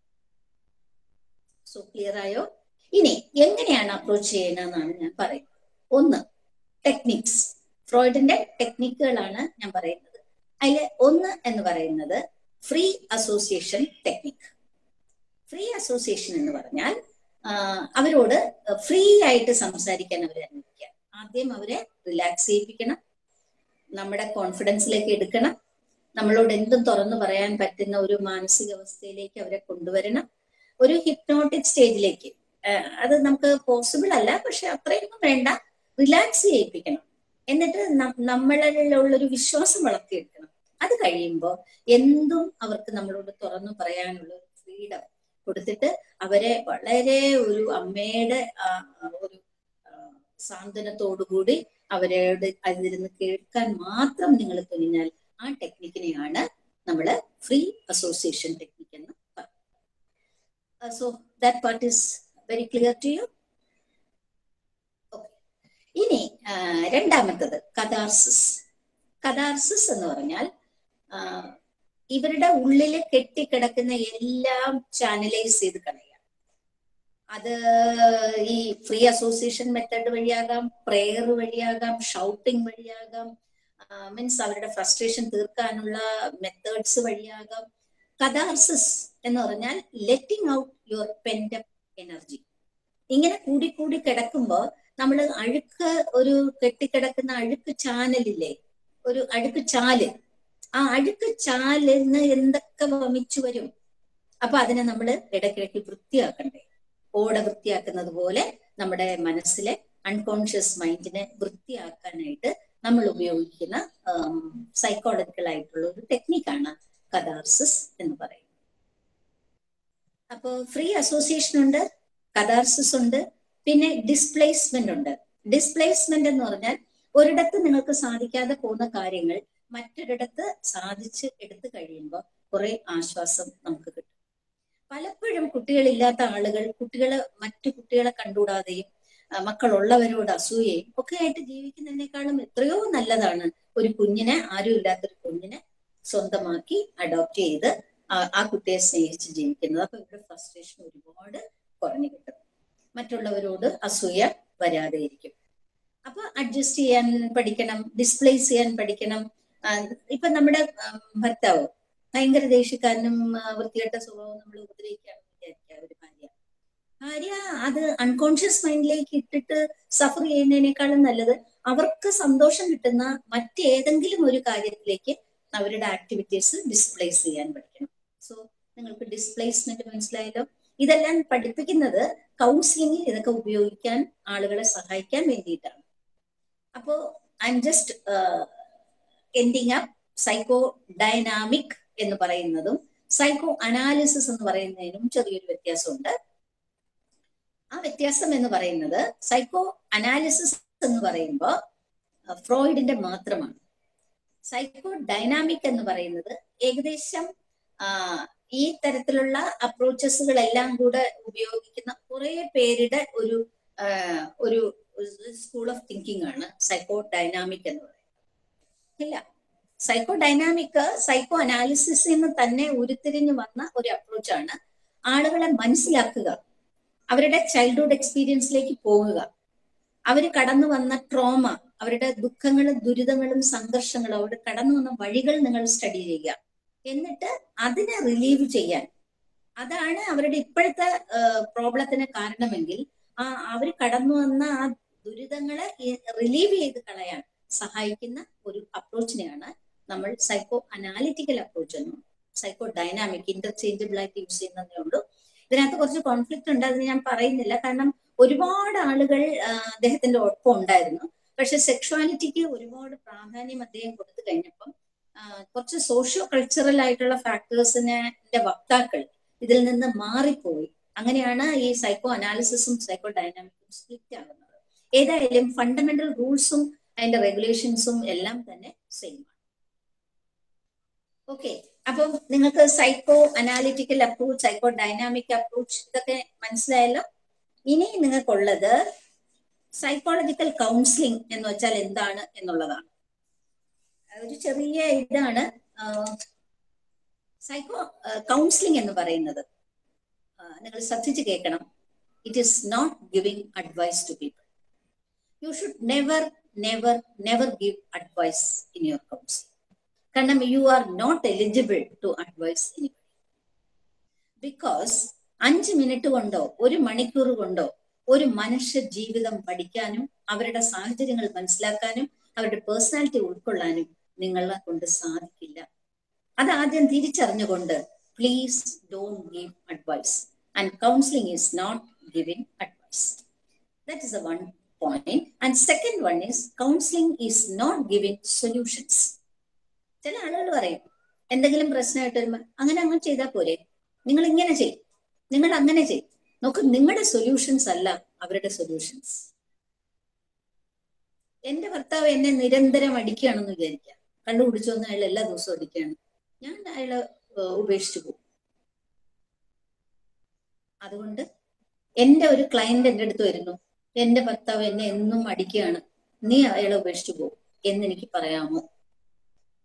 പറയാൻ പാടില്ല. That is not her solution ഉപേക്ഷ എന്റെ ഭർത്താവിനെ ഉപേക്ഷിച്ച് പോകാന്നുള്ളത് എന്റെ സൊല്യൂഷനാണ് ബിക്കോസ് എനിക്ക് അതിന്റെ ബാക്കിയുള്ളത് എനിക്ക് ജോലിയുണ്ട് സപ്പോർട്ടീവ് ആയിട്ടുള്ള ഫാമിലി ഉണ്ട് എനിക്ക് മനക്കരുത്തുണ്ട് എനിക്ക് സമൂഹത്തിന് ആൻസർ ചെയ്യണം എന്ന് എനിക്ക് തോന്നാറില്ല. അപ്പൊ I am not that lady ആ ലേഡിക്ക് സപ്പോർട്ടില്ല വീട്ടിൽ കയറി ചെന്നാൽ ഇറക്കി വിടും. അവർക്ക് ജോലിയില്ല. അവരുടെ കുഞ്ഞിനെ എന്ത് ചെയ്യണമെന്ന് അവർക്ക് അറിഞ്ഞൂടാ.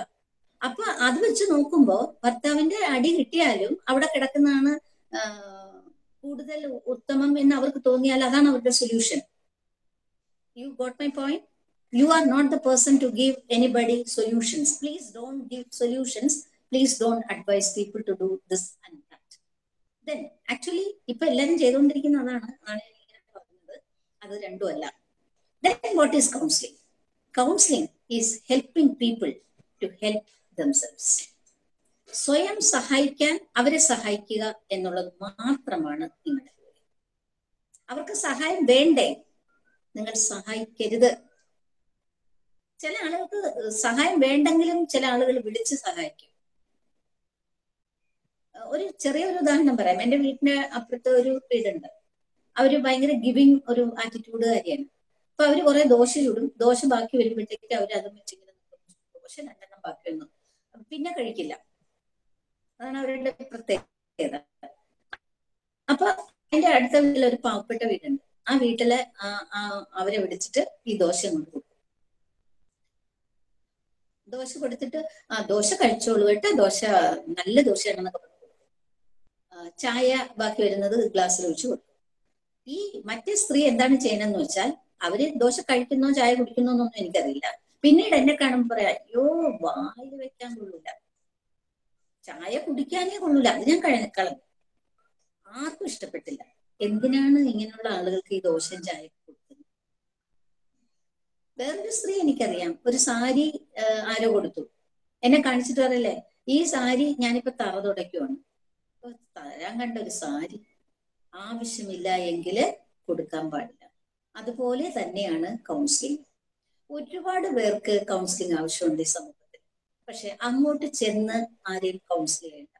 They should feel that they need a counselling or a help then please help so counselling is a helping process for those who come to you for help clear ആയോ ഓക്കെ അടുത്തത് ക്ലാസിഫിക്കേഷൻ ഓഫ് കൗൺസിലിംഗ് അതിന് മുമ്പ് goals of counselling നമ്മൾ counselling എന്തിനു ചെയ്യുന്നു എന്നുള്ളതിന് വ്യക്തമായ ചില ഗോൾസ് ഉണ്ട്. ഒന്ന് പ്രിവെന്റീവ് ഗോൾസ് ചില ആളുകൾക്ക് പ്രശ്നം വന്നതിന് ശേഷം കൗൺസിൽ ചെയ്യണമെന്ന് നിർബന്ധമൊന്നുമില്ല. പ്രശ്നം വരാതിരിക്കാൻ നമ്മൾ കൊടുക്കുന്ന ഒരു ക്ലാസ് നമ്മൾ കൊടുക്കുന്ന ഒരു ഇൻഫർമേഷൻ നമ്മൾ കൊടുക്കുന്ന ചില ലേണിംഗ് എക്സ്പീരിയൻസ് അതെല്ലാം പ്രിവെന്റീവ് ഗോൾസ് ആണ്. So prevention is one goal of counselling enhancement goal ഒരാൾക്ക് കുറച്ച് കഴിവുകളുണ്ട്. എന്ന് പറഞ്ഞാൽ ഒരു കുട്ടിക്ക് പഠിക്കാനുള്ള കഴിവുണ്ട്. പക്ഷെ അവൻ എങ്ങനെ പഠിക്കണം എന്നില്ല അവനെ ഒരു സ്റ്റഡി ഹാബിറ്റ് ഉണ്ടാക്കി കൊടുക്കാം. ഒരു ടൈം ടേബിൾ പ്രിപ്പയർ ചെയ്ത് കൊടുക്കാം. അവനെ ഒന്ന് മോണിറ്റർ ചെയ്യാം. ഇത് എൻഹാൻസ്മെന്റ് ഗോളാണ് അത് അവന്റെ പേരൻസ് നമുക്ക് പഠിപ്പിച്ചു കൊടുക്കാം. So that is enhancement goal remedial goal ഒരു പ്രോബ്ലം വന്നതിന് ശേഷം അതിനെ തീർത്തു കൊടുക്കാം. അതിന്റെ പരിഹാരം നമുക്ക് ഇന്ന ഇന്ന കാര്യങ്ങളൊക്കെയാണ് അത് ട്രൈ ചെയ്ത് നോക്ക് എന്ന് അവന്റെ മുമ്പിൽ പ്രസന്റ് ചെയ്ത് കൊടുക്കാം. That is remedial goal exploratory goal ചില ആളുകൾക്ക് അവരുടെ പ്രശ്നം എന്താണ് എന്ന് അറിഞ്ഞുകൂടാ ആ പ്രശ്നം എന്താണ് എന്ന് എക്സ്പ്ലോർ ചെയ്യാൻ അവരെ സഹായിക്കുന്നതാണ് എക്സ്പ്ലോറേറ്ററി ഗോൾ ഓ ഇതായിരുന്നല്ലേ എന്ന് അവർക്ക് തോന്നണം. അടുത്തത് റീഎൻഫോഴ്സ്മെന്റ് ഗോൾ റീഎൻഫോഴ്സ്മെന്റ് ഗോൾ എന്ന് പറഞ്ഞാൽ ചില മിടുക്കരായിട്ടുള്ള ആളുകളും കുട്ടികളും ഒക്കെ അവർ അച്ചീവ് ചെയ്യുമ്പോൾ അവരോരോ ഗോൾ സെറ്റ് ചെയ്ത് അത് നേടുമ്പോൾ ഒരു റീഎൻഫോഴ്സ്മെന്റും റിവാർഡും നല്ല വാക്കുകളും കിട്ടാറില്ല. അപ്പൊ കാലക്രമേണ അവർക്ക് എന്തെങ്കിലും ചെയ്യാനുള്ള ഒരു അവസ്ഥ നഷ്ടപ്പെടും. അങ്ങനെയുള്ളവരെ നമ്മൾ എന്തുകൊണ്ട് പ്രോത്സാഹിപ്പിക്കണം എന്തുകൊണ്ട് അഭിനന്ദിക്കണം എന്തുകൊണ്ട് ടോക്കൺ എക്കോണമി നടത്തണം എന്തുകൊണ്ട് കുട്ടികൾക്ക് റിവാർഡ്സ് കൊടുക്കണം അഭിനന്ദിക്കണം. ഇത് ഇത്തരം കാര്യങ്ങളിലൂടെ കാര്യങ്ങൾ അപ്രോച്ച് ചെയ്യുന്നതിനാണ് റീഎൻഫോഴ്സ്മെന്റ് ഗോൾസ് എന്ന് പറയുന്നത്. കൊഗ്നേറ്റീവ് ഗോൾസ് എന്ന് പറഞ്ഞാൽ ആളുകളുടെ തിങ്കിങ് പ്രോസസ് ചിന്താഗതികൾ തന്നെ വളരെ ഫോൾട്ടി ആയിട്ട് ചിന്തിക്കുന്ന ആളുകളുണ്ട്. ഞാൻ ചെയ്യുന്നതാണ് ശരി ഇങ്ങനെ വേണം ചെയ്യാൻ. ചില ആളുകൾ പറഞ്ഞിട്ടില്ലേ ഞാൻ എഗ്രി ചെയ്യില്ല ചില ആളുകൾ ഒന്നിനോടും എഗ്രി ചെയ്യില്ല. ഇങ്ങനെയുള്ള ആളുകൾ എന്തുകൊണ്ടാണ് എഗ്രി ചെയ്യാത്തത് എന്ന് വെച്ചാൽ അവർ അവരുടെ ചിന്താഗതിയിൽ രൂഢമൂലമായി കിടക്കുന്ന ചില ഫോൾട്ടി ഫീലിംഗ് കൊണ്ടാണ്. You try to change that means വളരെ സയന്റിഫിക് ആയിട്ടുള്ള എക്സ്പ്ലനേഷൻ ഒക്കെ കൊടുത്തുകൊണ്ട് നമ്മൾ ഇൻഫർമേഷൻ കൊടുത്തുകൊണ്ട് എവിഡൻസസ് മുന്നിൽ നിരത്തിക്കൊണ്ട് കാര്യങ്ങൾ ചെയ്യുന്നതിന്റെ ഒരു കൗൺസിലിങ്ങിനെയാണ് നമ്മൾ കോഗ്നിറ്റീവ് ഗോൾ എന്ന് പറയുന്നത്. സൈക്കോളജിക്കൽ ഗോൾസ് കാരണം അവരുടെ ഇമോഷണൽ ലെവലിനെ നമ്മൾ ടച്ച് ചെയ്യുകയും ആ ഇമോഷണൽ ആസ്പെക്ട്സിനെ ഒന്ന് കരുത്ത് ആർജിച്ചു കൊടുക്കുകയും. ചില ആളുകളെ കണ്ടിട്ടില്ലേ? എന്തിനാ കരയുന്ന? ടീച്ചർ എന്നെ വിളിച്ചു. എനിക്കറിയണോ അവരങ്ങനെയാണ് ടീച്ചർ എന്തിനു വിളിച്ചെന്ന് പോലും അറിഞ്ഞൂടാ. പക്ഷെ ടീച്ചർ വിളിച്ച ഉടനെ കരയും. ഇങ്ങനെയുള്ള കുറെ ആളുകളുണ്ട്. പിന്നെ ചിലര് എന്നെ അവരങ്ങനെ നോക്കി എന്നെ ഇവരിങ്ങനെ നോക്കി അപ്പൊ എനിക്ക് സങ്കടം വന്നു. അങ്ങനെ ഇമോഷണൽ ആയിട്ടുള്ള ബീങ്സ് ഒരുപാട് പേരുണ്ട്. അവരുടെ ആ ഇമോഷണൽ കരുത്ത് വർദ്ധിപ്പിക്കുക ഇമോഷണൽ ഇന്റലിജൻസ് വർദ്ധിപ്പിക്കുക ഇമോഷണൽ സ്റ്റെബിലിറ്റിയും മെച്ചൂരിറ്റിയും ഉണ്ടാക്കുക. അതാണ് സൈക്കോളജിക്കൽ ഗോൾസ് എന്ന് പറയുന്നത്. ഫിസിയോളജിക്കൽ ഗോൾസ് ഫിസിയോളജി എന്ന് പറഞ്ഞാൽ ഒരു നല്ല ശരീരത്തിലെ നല്ല മനസ്സുണ്ടാവുള്ളൂ. ഈ നല്ല ശരീരം എന്ന് പറയുന്നത് നല്ല മനസ്സാണെങ്കിൽ നല്ല മനസ്സും നല്ല ശരീരവും കൂടെ ബന്ധപ്പെട്ട് എടുക്കണമെങ്കിൽ ആദ്യം നേടിയേണ്ടത് എന്താണ് physiology if you are healthy you are mentally healthy too if you are tired you are mentally tired if you are physically ill you become depressed okay അതുകൊണ്ട് ഏതൊരു വ്യക്തിയെയും നമ്മൾ കൗൺസിലിംഗ് ചെയ്യുമ്പോൾ അവരുടെ ഫിസിയോളജിയുടെ തകരാറ് കൊണ്ടാണോ അവർക്ക് ഇങ്ങനത്തെ ഒരു ഉന്മേഷം ഇല്ലായ്മ ഒരു ഡൈനാമിസം ഇല്ലായ്മ എനർജറ്റിക് അല്ലാതിരിക്കുക എപ്പോഴും ക്ഷീണിച്ച് എപ്പോഴും ക്ഷീണമെന്ന് പറയുക വീട്ടിലെ കാര്യങ്ങൾ ചെയ്യാതിരിക്കുക just concentrate on the physiological wellbeing ഇപ്പൊ നിങ്ങൾക്ക് ഗോൾസ് മനസ്സിലായി കാണുമെന്ന് ഞാൻ വിചാരിക്കുന്നു. Preventive goal enhancement goal remedial goal exploratory goal reinforcement goal cognitive goal psychological goal and physiological goal ഇനി കുറച്ച് പ്രിൻസിപ്പിൾസ് നമ്മൾ പാലിക്കേണ്ടതുണ്ട്. അത് ഒന്ന് റെസ്പെക്ട് തീർച്ചയായിട്ടും ഒരു കൗൺസിലിങ്ങിന് ഇരിക്കുമ്പോൾ ഏത് പാവപ്പെട്ടവൻ വന്നാലും ഏത് പഠിക്കാത്തവൻ വന്നാലും ഏത് തരത്തിലുള്ള ആളുകൾ വന്നാലും രണ്ടാമത്തത് ട്രാൻസ്പെറൻസി പറയുന്ന കാര്യം വളരെ ക്ലിയർ ആയിരിക്കണം. മനസ്സ് തട്ടി പറയാവുള്ളൂ ഒന്ന് നിങ്ങൾ മനസ്സ് വെച്ചുകൊണ്ട് വേറൊന്ന് അഭിനയിച്ച് പറയാൻ പാടില്ല. ആണ് ട്രാൻസ്പെറൻസി ഇൻ കമ്മ്യൂണിക്കേഷൻ മൂന്നാമത്തത് knowing the counsellor understanding him from his situation നമ്മൾ കൗൺസിൽ ചെയ്യാൻ knowing the counsellor understanding him from situation എന്താണെന്ന് ഇത് തെറ്റാണ്. ഹെഡിങ് തെറ്റാണ്. നോയിങ് ദ ക്ലൈന്റ് എന്നാണ്. എന്തെങ്കിലും മിസ്റ്റേക്ക് ആയിരിക്കും. നോയിങ് ദ ക്ലൈന്റ് അതായത് നമ്മൾ ആ ക്ലയന്റിനെ നമ്മുടെ മുമ്പിൽ വന്നിരിക്കുന്ന ക്ലയന്റിനെ ഇവിടെ നോയിങ് ദ കൗൺസിലർ എന്നാണ് എഴുതിയിരിക്കുന്നത്. നമ്മുടെ മുമ്പിൽ വന്നിരിക്കുന്ന ക്ലയന്റിനെ നമ്മൾ ഫുൾ ഒരു അണ്ടർസ്റ്റാൻഡിങ്ങിലേക്ക് പോകണം. അദ്ദേഹത്തിന്റെ ആറ്റിറ്റ്യൂഡ്സ് അദ്ദേഹത്തിന്റെ അപ്രോച്ച് അദ്ദേഹത്തിന്റെ ചൈൽഡ്ഹുഡ് അദ്ദേഹത്തിന്റെ എല്ലാം മനസ്സിലാക്കിയിരിക്കുന്നതിനെയാണ് നോയിങ് ദ ക്ലയന്റ് എന്ന് പറയുന്നത്. അടുത്തത് അവൈലബിലിറ്റി അവൈലബിലിറ്റി എന്ന് പറയുന്നത് ഒരു അപ്പോയിന്റ്മെന്റ് നമ്മൾ കൊടുത്തു കഴിഞ്ഞാൽ നമ്മൾ അത് കൃത്യമായിട്ട് പാലിച്ചിരിക്കണം. അയ്യോ അത് അടുത്ത ദിവസം പിന്നവ ഞാൻ മറന്നുപോയി. ഇത്തരം കാര്യങ്ങൾ ഒരിക്കലും പറയാൻ പാടില്ല. മൂന്നാമത്തത് പ്രൈവസി വെരി വെരി ഇമ്പോർട്ടന്റ് കാരണം ഇപ്പോഴും സൈ കൗൺസിലിംഗ് എന്നൊക്കെ പറയുമ്പോൾ ഒരു കോൺഫിഡൻഷ്യാലിറ്റിയുടെ പ്രശ്നമുണ്ട്. ആളുകൾക്ക് ഒരു സ്റ്റിഗ്മ ഉണ്ട്. അതുകൊണ്ട് ഈ പ്രൈവസി എന്ന് പറയുന്നതും കോൺഫിഡൻഷ്യാലിറ്റി എന്ന് പറയുന്നതും ഈ ക്ലയൻസിനോട് ഉറപ്പ് വരുത്തേണ്ടത് ഭയങ്കര അത്യാവശ്യമാണ്. Then positive approach and recognising the client's potential എന്ന് വെച്ചാൽ നമ്മൾ ഈ വരുന്ന ക്ലയന്റിന് ഏതെങ്കിലും തരത്തിലെ കഴിവില്ലാത്ത ഒരു മനുഷ്യ ഇപ്പൊ എനിക്ക് ഞാൻ എല്ലാരും പറയും എന്നെ നന്നായിട്ട് ടീച്ചർ ക്ലാസ് എടുക്കും അപ്പൊ അതെന്റെ ഒരു പൊട്ടൻഷ്യലാണ് പക്ഷെ നല്ലപോലെ ഒരു ഡാൻസ് ചെയ്യണമെന്ന് പറഞ്ഞാൽ എനിക്ക് പറ്റുമോ ഇല്ല. പക്ഷെ ഡാൻസ് ചെയ്യുന്ന ഒരാൾക്ക് നല്ലപോലെ ക്ലാസ് എടുക്കാൻ പറ്റുമോ അതുമില്ല. അതുകൊണ്ട് നമ്മൾ നമ്മളെ വെച്ചല്ല കമ്പയർ ചെയ്യേണ്ടത്. There will be potential for every person potential ഇല്ലാത്ത ഒരാൾ പോലും ഈ ലോകത്തില്ല. അത് മനസ്സിലാക്കി വേണം ഓരോ ക്ലയന്റിനോടും നമ്മൾ പെരുമാറാനും. അവരുടെ ഔട്ട്വേർഡ് ലുക്സിന് അല്ല. അടുത്തത് steps in counselling so we now we come to the steps in counselling the first one is you have to establish a relationship അതാണ് റാപ്പോ ബിൽഡിംഗ് എന്ന് പറയുന്നത്. സൈക്കോളജിക്കലി നമ്മൾ പറയുന്നത് റാപ്പോ ബിൽഡിംഗ് ആണ്. റാപ്പോ ബിൽഡിംഗ് എന്ന് പറയുന്നത് എസ്റ്റാബ്ലിഷ് റിലേഷൻഷിപ്പ് അവർക്ക് നമ്മുടെ അടുത്ത് വരാൻ തോന്നും. നമ്മളോട് സ്നേഹം തോന്നും. നമ്മളോട് വിശ്വാസം തോന്നും. ഒരു സൈക്കോളജിക്കൽ ബോണ്ടേജ് ഉണ്ടാകും അതിന് കഴിവില്ലെങ്കിൽ ദേ ഇപ്പോഴേ ഈ പ്രൊഫഷൻ വിട്ടേ ഒത്തിരി പേര് കൗൺസിലേഴ്സ് ആയിട്ട് ഇരിപ്പുണ്ട്. അവരുടെ അടുത്ത് എനിക്ക് സമയമില്ലാതെ വന്ന ചില സമയങ്ങളിൽ ഞാൻ അവരുടെ അടുത്ത് വിട്ടിട്ടുണ്ട്. അപ്പൊ ഈ ക്ലയൻസ് തിരിച്ചു വന്നതിനോട് പറയണേ ആ സ്ത്രീക്ക് ഒരു കൗൺസിലിങ്ങിന്റെ ആവശ്യമുണ്ട്? ആർക്ക്? ഇങ്ങനെയൊക്കെ ഉള്ള കൗൺസിലേഴ്സ് ഉണ്ട് എന്നുള്ളത് ഒരു സത്യമാണ്.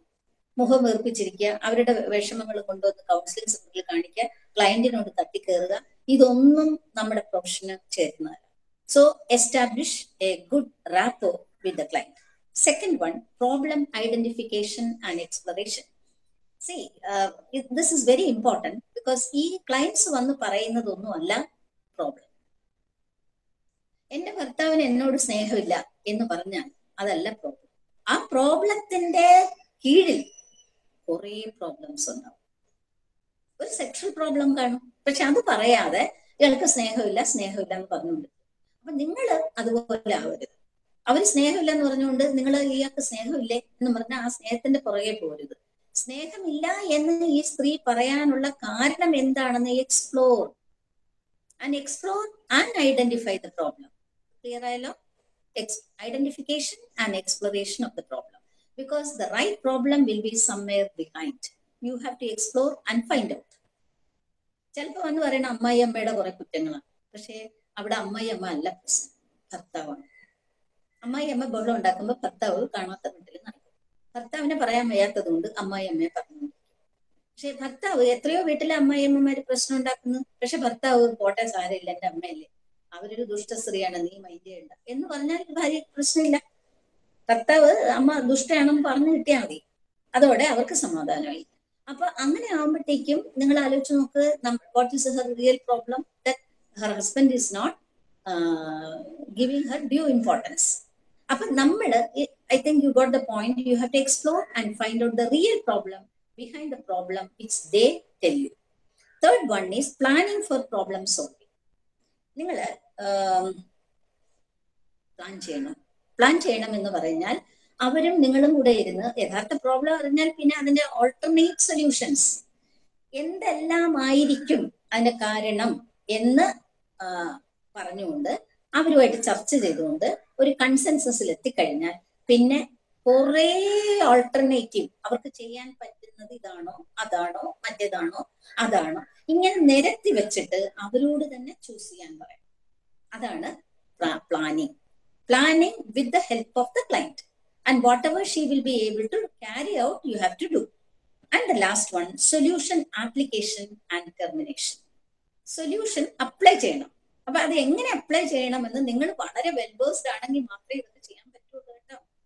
അതുകൊണ്ട് ആദ്യം വേണ്ടത് നിങ്ങൾ ഇതിലേക്ക് ഈ കൗൺസിലിംഗിലേക്ക് വരിക എന്നുള്ളതാണ്. ഒരുപാട് ക്ലാസ്സുകൾ പുറത്തും അവിടെയും ഇവിടെയൊക്കെ കിട്ടുന്ന ചാൻസിലൊക്കെ നിങ്ങൾ അപ്ലൈ ചെയ്യണം. അല്ല അറ്റൻഡ് ചെയ്യണം. അത് കഴിഞ്ഞിട്ട് you have to come to the point okay എന്തെങ്കിലും ഫെർദർ ഹെൽപ്പ് ഒക്കെ വേണമെങ്കിൽ യു ക്യാൻ കോൾ മീ എന്റെ നമ്പർ അറിയാമോ നിങ്ങൾക്ക്? ഓക്കെ അത് പോട്ടെ. Solution application and termination solution application എന്ന് പറഞ്ഞാൽ സൊല്യൂഷന്റെ ഓൾട്ടർനേറ്റീവ് ആയിട്ടുള്ള അവരെ കൊണ്ട് സാധിക്കും എന്ന് തോന്നുന്ന കാര്യങ്ങൾ അവരോടുകൂടി ചർച്ച ചെയ്ത് നമ്മൾ പ്ലാൻ ചെയ്തത് എങ്ങനെ അപ്ലൈ ചെയ്യണം എന്ന് അവരെ പഠിപ്പിച്ചു കൊടുക്കുകയും ഹെൽപ്പ് ചെയ്യുകയും ചെയ്തിട്ട് അതിന്റെ ഫോളോ അപ്പ് നടത്തുകയാണ് വേണ്ടത്. വിജയിക്കുന്നുണ്ടോ? അവർക്ക് പറ്റുന്നുണ്ടോ? പറ്റുന്നില്ലേ? അങ്ങനെയാണെങ്കിൽ നമ്മൾ ഇപ്പൊ മരുന്ന് ഒരു മരുന്ന് ഡോക്ടർ കൊടുത്തു കഴിഞ്ഞാൽ ഡോക്ടർ ചോദിക്കണം കുറവുണ്ടോ? കുറവില്ല ഡോക്ടർ എന്ന് പറഞ്ഞാൽ മരുന്ന് മാറ്റി കൊടുക്കും. ഇച്ചിരി കൂടെ ഹൈ ഡോസ് കൊടുക്കും. നമ്മൾ അതുപോലെ തന്നെയാണ്. നമ്മൾ ഇതൊന്ന് ട്രൈ ചെയ്യും എന്ന് പറഞ്ഞ് അവർ ട്രൈ ചെയ്യാൻ അവർ ശ്രമിക്കുന്ന അവർ സമ്മതിച്ചു പോകുന്നു അവർ ട്രൈ ചെയ്യുന്നു. നമ്മളോട് ഒന്നും പറയാൻ പറ്റിയില്ല. So there is a follow up follow അപ്പിന് പറ്റിയില്ലെങ്കിൽ പിന്നെ നമ്മൾ ചെയ്യേണ്ടത് what you to do you change the alternative the client become successful in dealing with the problem എന്നിട്ട് you the moment you feel that now she will be able to deal with her problem. She has uh, learned the uh, skills or potentials to help herself, then terminate. So these are the steps. One, rapport building. Second, problem identification and exploration of the problem. Planning for problem solving. And third one, trying to help her to uh, apply the solution and then for, make follow and then terminate. പിന്നെ എപ്പോഴാണ് counselling വേണ്ടതെന്നുള്ളതാണ്. അത് ഇതിൽ കൊടുത്തിരിക്കുന്നത് സ്റ്റുഡൻസിനെ പറ്റി മാത്രമാണ്. അത് അത് മാത്രമല്ല നമുക്ക് ആ കുട്ടിക്ക് ശരിയായിട്ടും ഒരു ആവശ്യമുണ്ട് എന്ന് തോന്നുമ്പോൾ കുട്ടിക്കല്ല ഏത് വ്യക്തിക്കും രണ്ടാമത്തത് അതിന് പ്രോപ്പർ ആയിട്ടുള്ള ഇൻഫർമേഷനും സഹായവും ഇമ്മീഡിയറ്റ് ആയിട്ട് എവിടെ നിന്നും ലഭിക്കുന്നില്ല എന്ന് തോന്നുമ്പോൾ മൂന്നാമത്തത് അതിന്റെ പൊട്ടൻഷ്യലിനെ ഉപയോഗിക്കാൻ പറ്റുന്നില്ല എനിക്കൊരു ഹെൽപ്പ് കിട്ടിയാൽ ഞാൻ ബെറ്റർ ആകും എന്ന് തോന്നുന്ന സമയത്ത് പിന്നെ പ്രോബ്ലംസ് ഒരുപാട് ജീവിതത്തിനെ റുട്ടീൻ ലൈഫിനെ ബാധിക്കുന്നു. ഐ നീഡ് സംബഡീസ് ഹെൽപ്പ് എന്ന് തോന്നുന്ന സമയത്ത്. പിന്നെ റിലേറ്റീവ്സും ഇമ്മീഡിയറ്റ് ആയിട്ടുള്ള ആളുകൾ അസമർത്ഥരാണ് ഇവരുടെ പ്രോബ്ലംസ് പരിഹരിക്കാൻ എന്ന് തോന്നുമ്പോൾ. അങ്ങനെയുള്ള നിരവധി മേഖലകളിൽ counselling can be recommend or counselling is required now we are going to the next part. അപ്പൊ സൈക്കോ ഡൈനാമിക് അപ്രോച്ച് അല്ലെങ്കിൽ സൈക്കോ അനാലിറ്റിക്കൽ അപ്രോച്ച് ക്ലിയർ ആയോ? Can I go to the next one the next one is insight learning insight learning and short term counselling I mean insight counselling and short term counselling ഇനി insight എന്ന് പറയുന്നത് Freud പറയുന്നത് insight itself is cure എന്നാണ്. എന്ന് വെച്ചാൽ insight തന്നെ ഒരു cure ആണെന്നാണ്. എനിക്കൊരു പ്രശ്നമുണ്ട് എന്നറിഞ്ഞാൽ എന്റെ പകുതി പ്രശ്നത്തിന് പരിഹാരമാണ് ഈ പ്രശ്നമുള്ളവരുടെ ഏറ്റവും വലിയ പ്രശ്നം അവർക്ക് പ്രശ്നമുണ്ട് എന്ന് അവർക്ക് അറിഞ്ഞൂടാ എന്നുള്ളതാണ്. ഇസ് ക്ലിയർ നൗ സോ നമ്മുടെ ആദ്യത്തെ ഇൻസൈറ്റ് തെറാപ്പി അല്ലെങ്കിൽ ഇൻസൈറ്റ് കൗൺസിലിംഗ് കൊണ്ട് ഉദ്ദേശിക്കുന്നത് അവർക്ക് പ്രോബ്ലം ഉണ്ട് എന്താണ് അവരുടെ പ്രോബ്ലം എന്ന് അവർ ബോധ്യപ്പെടുത്തി കൊടുക്കുന്നതാണ് then your half problem is over നോക്ക് നിങ്ങൾക്ക് ഇങ്ങനെ ഒരു പ്രോബ്ലം ഉണ്ട്. ചില മെന്റലി റിട്ടയർഡ് ആയിട്ടുള്ള കുട്ടികളെ നമ്മുടെ കൊണ്ടുവന്നിട്ട് ഡോക്ടറെ ഇവനെ എങ്ങനെയെങ്കിലും ഇവനെ പഠിപ്പിച്ച് ഡോക്ടറാക്കണം എന്നാണ് ഞങ്ങളുടെ ആഗ്രഹം. അതിനുവേണ്ടി ഞങ്ങൾ എന്തും ചെയ്യും എത്ര രൂപ വേണേലും ചെലവാക്കും. പക്ഷെ ആ ടീച്ചർമാര് ശരിയല്ല. അവർ പറയണ ഇവൻ ക്ലാസ്സിൽ പഠിക്കില്ല. എന്നിട്ട് അവർ പറഞ്ഞ ഒരു കൗൺസിലറിനെ കാണിക്കാൻ. എന്ത് ചെയ്യും നിങ്ങൾ ഇൻസൈറ്റ് ഇല്ല. അവരുടെ മോന് ബുദ്ധിപരമായി പിന്നോക്കമാണ് ബുദ്ധിമാന്യമാണ് എന്നുള്ള ഇൻസൈറ്റ് ഇല്ലാത്ത എത്രയോ രക്ഷകർത്താക്കൾ ഡോക്ടറാക്കാൻ നടക്കാണ്. അപ്പൊ നമ്മൾ ചെയ്യേണ്ടത് അവർക്ക് ഇൻസൈറ്റ് ഉണ്ടാക്കി കൊടുത്താൽ മാത്രം മതി. അല്ലാതെ ബുദ്ധിമാന്യത്തിനെ മാറ്റാൻ നിങ്ങളെ കൊണ്ട് പറ്റില്ല. അപ്പൊ അവരുടെ പ്രോബ്ലം എന്താണ്? They're suffering with a child അപ്പൊ അവർക്ക് ഇൻസൈറ്റ് ഉണ്ടാക്കി കൊടുക്കുക. അതുപോലെ ചില ഭാര്യമാർക്ക് എന്നും വഴക്കും ബഹളവും ഇടിയും ഇടിയും ഒക്കെയാണ് വീട്ടിൽ ഇവിടെ വരുമ്പോഴാണ് നമുക്ക് മനസ്സിലാകുന്നത് ഈ ഭാര്യയെ കൊണ്ട് കാശിന് കൊള്ളില്ല അയാൾ പോകുമ്പോ ഒരു ചായ ഇട്ട് കൊടുക്കില്ല. വീട് വൃത്തിയാക്കത്തില്ല. ഒരു കഴിവുമില്ല ഒരു നീറ്റും അല്ല ടൈഡി അല്ല ടൈം മാനേജ്മെന്റ് ഇല്ല ഒരു കഴിവുമില്ല. അയാൾ സഹിച്ച് സഹിച്ച് അയാൾക്ക് മാതിരിയായി. ഇവർ പറയുന്നത് ഞാൻ എന്ത് ചെയ്യും? എന്റെ ഭർത്താവിനെ എനിക്ക് ജീവനെ പോലെ സ്നേഹമാണ് അയാൾക്ക് എന്നെ സ്നേഹമേ അല്ല. ഇൻസൈറ്റ് ഇല്ല. എന്താണ് അയാൾക്ക് സ്നേഹമില്ലാത്തത്? അയാൾ കിടന്ന് അലറുകയും വീളുവയ്ക്കുകയും ബേളം വയ്ക്കുകയും ഒക്കെ ചെയ്യും. അയാൾക്ക് ഇൻസൈറ്റ് ഉണ്ടാക്കാനുള്ള അപ്പൊ നമ്മുടെ അടുത്ത് വരേണ്ടത് ആവശ്യമുണ്ട്. നമ്മൾ ഇൻസൈറ്റ് ഉണ്ടാക്കി കൊടുക്കണം. നമുക്ക് വീടൊന്ന് ഭംഗിയായിട്ട് വയ്ക്കും ഇച്ചിരി കൂടെ ടൈം മാനേജ്മെന്റ് പഠിക്കും. പൈസയൊക്കെ സൂക്ഷിച്ചും കണ്ടും ചെലവാക്കുക ഭർത്താവിനൊരു കൈത്താങ്ങായിട്ട് ജീവിക്കും. ഇത് ഇൻസൈറ്റ് ആണ്. അപ്പൊ നിങ്ങൾക്ക് ഇൻസൈറ്റ് മനസ്സിലായല്ലോ? ഇൻസൈറ്റ് ഇതാണ് definition of insight counselling and insight കൗൺസിലിംഗിൽ നമ്മൾ മിക്കവാറും കൗൺസിലിംഗിൽ ഇത് ഇൻസൈറ്റ് ഒരു ആദ്യത്തെ ഭാഗമായിട്ട് ഉപയോഗിക്കേണ്ട വസ്തുവാണ്. ഇൻസൈറ്റ് ലേണിംഗ് അപ്പൊ ഇൻസൈറ്റ് പോയി. ചെറുതായിട്ട് പറയുന്നുള്ളൂ. ഇതിന്റെ ഡീറ്റെയിൽസ് ഒക്കെ പിന്നീടുള്ള പുസ്തകങ്ങളിൽ വരും എന്ന് നമ്മൾ പ്രതീക്ഷിക്കുകയാണ്. അപ്പൊ ഇൻസൈറ്റ് എന്താന്ന് മാത്രമേ ഇതിനകത്ത് പറയുന്നുള്ളൂ. ഇൻസൈറ്റ് എന്ന് പറയുന്നത് അവരുടെ അവർക്ക് അറിഞ്ഞൂടാതെ കിടക്കുന്ന അവരുടെ പ്രോബ്ലത്തിന് കാരണമായ കാരണങ്ങളെ. അവർക്ക് അറിഞ്ഞൂടാ പക്ഷെ നമ്മൾ അവരെ ബോധ്യപ്പെടുത്തി കൊടുക്കുമ്പോൾ അവരുടെ പ്രശ്നം അവർ റിയലൈസ് ചെയ്യുന്ന ഒരു അവസ്ഥയിലേക്ക് എത്തിക്കുന്നതിനെയാണ് ഇൻസൈറ്റ് ലേണിംഗ് എന്ന് പറയുന്നത്. അടുത്തത് ഇവിടെ കിടക്കുന്നത് എക്സിസ്റ്റൻഷ്യൽ തെറാപ്പി എക്സിസ്റ്റൻഷ്യൽ തെറാപ്പി എന്ന് പറയുന്നത് ചില ആളുകൾ ജീവിക്കുന്നത് എന്തിനാണ് എന്ന് അറിഞ്ഞൂടാ എയിമില്ല ലക്ഷ്യമില്ല ഗോളില്ല നിരാശ. ചിലർ വരുമ്പോ തന്നെ നമ്മളോട് ചോദിക്കണം ഞാൻ എന്തിനാണ് ഇങ്ങനെ ജീവിക്കുന്നതെന്ന് എനിക്കൊന്നും എനിക്കറിഞ്ഞു എനിക്ക് ആകെ നിരാശയാണ് എങ്ങനെയെങ്കിലും മരിക്കണമെന്നേ. ഇതാണ് അങ്ങനെയുള്ളവരെ നമ്മൾ ജീവിക്കുന്നത് എന്തിനാണ്? Purpose of life purpose of life meaning in life കണ്ടെത്താൻ സഹായിക്കുന്നതിനെയാണ് എക്സിസ്റ്റൻഷ്യൽ തെറാപ്പി എന്ന് പറയുന്നത്. ഇസ് ക്ലിയർ എക്സിസ്റ്റൻഷ്യൽ തെറാപ്പി എന്ന് പറഞ്ഞാൽ നമുക്ക് ഒരു മീനിങ് ഇൻ ലൈഫ് ഒരു പർപ്പസ് ഇൻ ലൈഫ് ഉണ്ട് എല്ലാവർക്കും. അത് കണ്ടെത്താൻ കഴിഞ്ഞാൽ നമുക്ക് എങ്ങനെ മരിക്കാൻ തോന്നും? ഇപ്പൊ ഭർത്താവിന് സ്നേഹമില്ല വീട്ടിൽ ദാരിദ്ര്യം വീട്ടിൽ പട്ടിണി ദുരിതം ഒക്കെയാണ് മരിക്കാൻ തോന്നുന്നത്.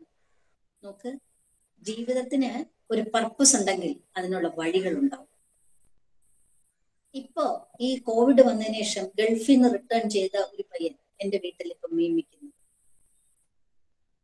ഒരു പർപ്പസ് അവനുണ്ട് ജീവിക്കണമെന്നുണ്ട് അതുകൊണ്ട് മീമിക്കാനുള്ള ഒരു വഴി ഒരു വഴി തുറന്ന് അവൻ തന്നെ എടുത്തിരിക്കുന്നതാണ്. മീമിറ്റാൻ എന്താ ഒരു ദിവസം ഞാൻ ചോദിച്ചു തുടങ്ങിയതേ ഉള്ളൂ എന്നോട് പറഞ്ഞു. ഗൾഫിൽ നല്ല ജോലിയിലിരുന്ന ഒരു പയ്യനാണ്. അവൻ ഇവിടെ വന്നിട്ട് മീൻ ഹോൾസെയിലിൽ നിന്ന് എടുത്തോണ്ട് വന്ന് ഓരോ വീട്ടിൽ കൊണ്ടു കൊടുക്കുന്നു.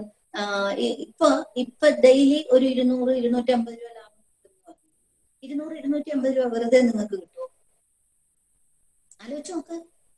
മീൻ വിറ്റാൽ എന്താ പച്ചക്കറി വിറ്റാൽ എന്താ വീട് വീട് തോറും കയറി നടന്നു? ഒരു പശുവിനെ മേടിച്ച് വെള്ളത്തിൽ പാൽ വിറ്റാൽ എന്താ? പാലൊന്നും കിട്ടാനില്ല. പക്ഷെ ഒറ്റ മനുഷ്യർ ഇതൊന്നും ചെയ്യില്ല. അപ്പൊ പർപ്പസ് ഇല്ല. നിരാശ. എപ്പോ നോക്കിയാലും നിരാശ.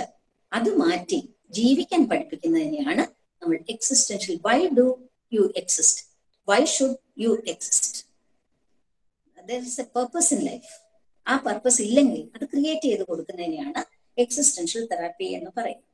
അടുത്തത് person centred therapy person centred therapy എന്ന് പറഞ്ഞാൽ പോൾ റോജേഴ്സിന്റെ തെറാപ്പിയാണ് അദ്ദേഹം പറയുന്നത് സിംഗിൾ ആയിട്ടുള്ള കേസിന് കൂടുതൽ പ്രാധാന്യം കൊടുത്തുകൊണ്ട് അവർക്ക് ഇമ്പോർട്ടൻസ് കൊടുത്തുകൊണ്ട് അവരുടെ സമഗ്രമായ ഒരു ചേഞ്ച് അതായത് അവരെ കോൺസെൻട്രേറ്റ് ചെയ്യുക. നമ്മൾ സൈലന്റ് ആയിരിക്കുക.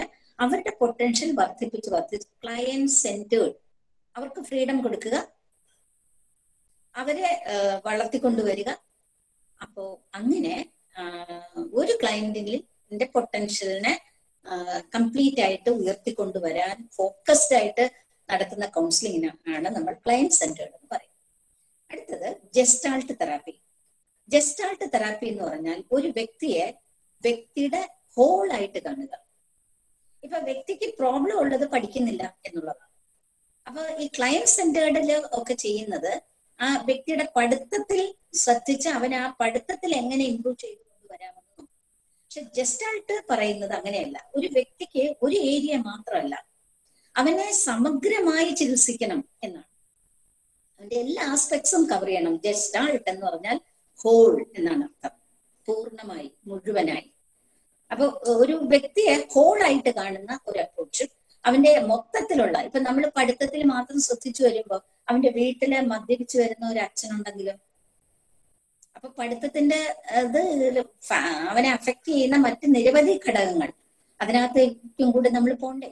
അതിനാണ് ഹോൾ അപ്രോച്ച് അല്ലെങ്കിൽ എക്സിസ്റ്റൻഷ്യൽ അപ്രോച്ച് എന്ന് പറയുന്നത്. ഇനി now we come to short term counselling short term counselling പേര് കേട്ടാൽ തന്നെ നിങ്ങൾക്ക് അറിയാലോ ഷോർട്ട് ടേം ആയ കൗൺസിലിംഗ് നടത്തുക. എന്ന് വെച്ചാൽ ഇപ്പൊ ഗൾഫിൽ ഞാൻ ചിലപ്പോഴൊക്കെ ചെയ്യുന്നത് ഗൾഫിൽ ഒരാൾ വിളിച്ചിട്ട് പറയും ടീച്ചറെ ഞങ്ങൾക്ക് ഒരു കൗൺസിലിംഗ് വേണം. അപ്പൊ നിങ്ങൾ അടുത്ത ആഴ്ച ഒരു ഡേറ്റ് തരാം എന്ന് പറഞ്ഞാൽ ഉടനെ പറയും അയ്യോ ടീച്ചറെ ഇന്ന് വേണം. നാളെ ഞങ്ങൾ ഗൾഫിലോട്ട് പോവാണ്. നാളെ ഗൾഫിൽ പോണതിന് ഇന്ന് കൗൺസിലിങ്ങിന് വരുന്നവരുണ്ട്. പക്ഷെ നമ്മൾ കൗൺസിലേഴ്സ് ചെയ്യേണ്ടത് എന്തിനേയും അക്സെപ്റ്റ് ചെയ്യാനുള്ള ഒരു മനസ്സാണ് നമുക്ക് വേണ്ടത്. അവർക്ക് അന്നായിരിക്കും തോന്നിയത്. അവർ ആരാണ് അവരെ അങ്ങനെ അക്സെപ്റ്റ് ചെയ്യുക അതാണ് ഒരു കൗൺസിലറിന്റെ മനസ്സ്. ഞാൻ പറഞ്ഞു എന്നാ നിങ്ങൾ വന്നോ. ബാക്കി അന്ന് ടൈം കൊടുത്തവരോട് പെർമിഷൻ ചോദിച്ചിട്ടാണ് ഇവരെ ഞാൻ എടുക്കുന്നത്. അപ്പൊ നമുക്ക് നാളെ ഗൾഫിൽ പോകുന്നവർക്ക് ഒരുപാട് സെഷൻസ് എടുക്കാൻ പറ്റുമോ? ഇല്ല. അങ്ങനെ വരുമ്പോ നമ്മൾ എല്ലാം കൂടെ ചേർത്ത് അതായത് മൊത്തം കാര്യങ്ങൾ പറഞ്ഞ് ബോധ്യപ്പെടുത്തി ചെയ്യാവുന്ന പരമാവധി കാര്യങ്ങൾ ക്യാപ്സൂൾ പോലെ ആക്കി അവർക്ക് ടൈം കൺസ്ട്രെയിൻസ് കണക്കിലെടുത്തുകൊണ്ട് ചെയ്യുന്ന ഒരു പ്രോസസ്സിനെ അല്ലെങ്കിൽ ഒരു കൗൺസിലിങ്ങിനെയാണ് നമ്മൾ ഷോർട്ട് ടേം കൗൺസിലിംഗ് എന്ന് പറയുന്നത്. ഇനി ഷോർട്ട് ടേം കൗൺസിലിങ്ങിന്റെ ഒരു സിക്സ് സെഷൻ മോഡൽ ഉണ്ട്. ആറ് സെഷൻ അതായത് ഒരു ദിവസം തന്നെ നമ്മൾ ഈ ആറ് സെഷൻ നടത്തിവിട്ട കേസുകളുണ്ട് അല്ലെങ്കിൽ ആറ് ദിവസം എടുക്കുള്ളൂ.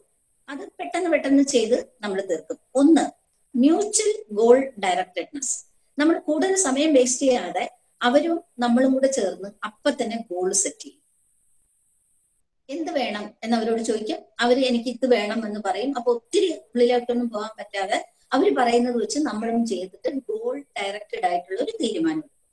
രണ്ടാമത് ക്യുക്ക് പ്രോബ്ലം ഐഡന്റിഫിക്കേഷൻ ഒരുപാട് അങ്ങോട്ട് പഠിച്ച് പഠിച്ച് പഠിച്ച് പഠിച്ച് പോകാതെ ഇതിലെ ചില പ്രോബ്ലം ഒക്കെ ഐഡന്റിഫൈ ചെയ്യണമെങ്കിൽ സ്കൂൾ റെക്കോർഡ്സ് ഹോസ്പിറ്റൽ റെക്കോർഡ്സ് ഒക്കെ എടുക്കണം നമ്മൾ അതിനൊന്നും പോകാതെ ക്വിക്ക് പ്രോബ്ലം ഐഡന്റിഫിക്കേഷൻ വളരെ പെട്ടെന്ന് അവർ പറയുന്ന കാര്യങ്ങളെ ബേസ് ചെയ്തിട്ട് ഒരു problem identification reminder of finiteness of sessions എന്ന് പറഞ്ഞാൽ ഫൈനൈറ്റ് എന്ന് പറഞ്ഞാൽ സൂക്ഷ്മത അല്ലെങ്കിൽ അതിന്റെ സൂക്ഷ്മ വശങ്ങൾ എല്ലാം കവർ ചെയ്തുകൊണ്ടായിരിക്കണം ഓരോ സെഷനും പോകേണ്ടത്. കാരണം നമുക്ക് സമയം ഇല്ല.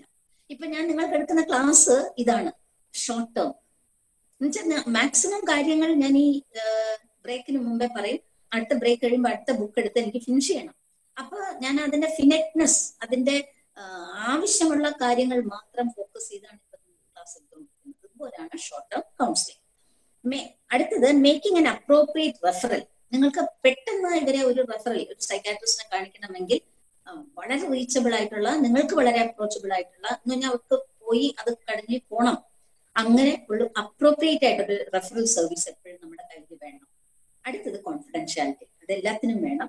ഓപ്പൺ കമ്മ്യൂണിക്കേഷൻ കാരണം അവിടെ വളച്ചും തിരിച്ചും ഇൻഡയറക്റ്റ് ആയിട്ടൊന്നും പറയാൻ നിൽക്കണ്ട because you don't have time so be open നിങ്ങൾ അത് ചെയ്തേ പറ്റൂ.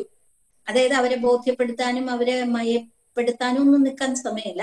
Be open in your communication and last one make a follow even before the leave ഇത് ഫലപ്രദമാണോ ഈ ഷോർട്ട് ടേം എന്ന് നോക്കുന്ന ഒരു ഫോളോ ഇതാണ് six session model of short term counselling എന്ന് പറയുന്നത്.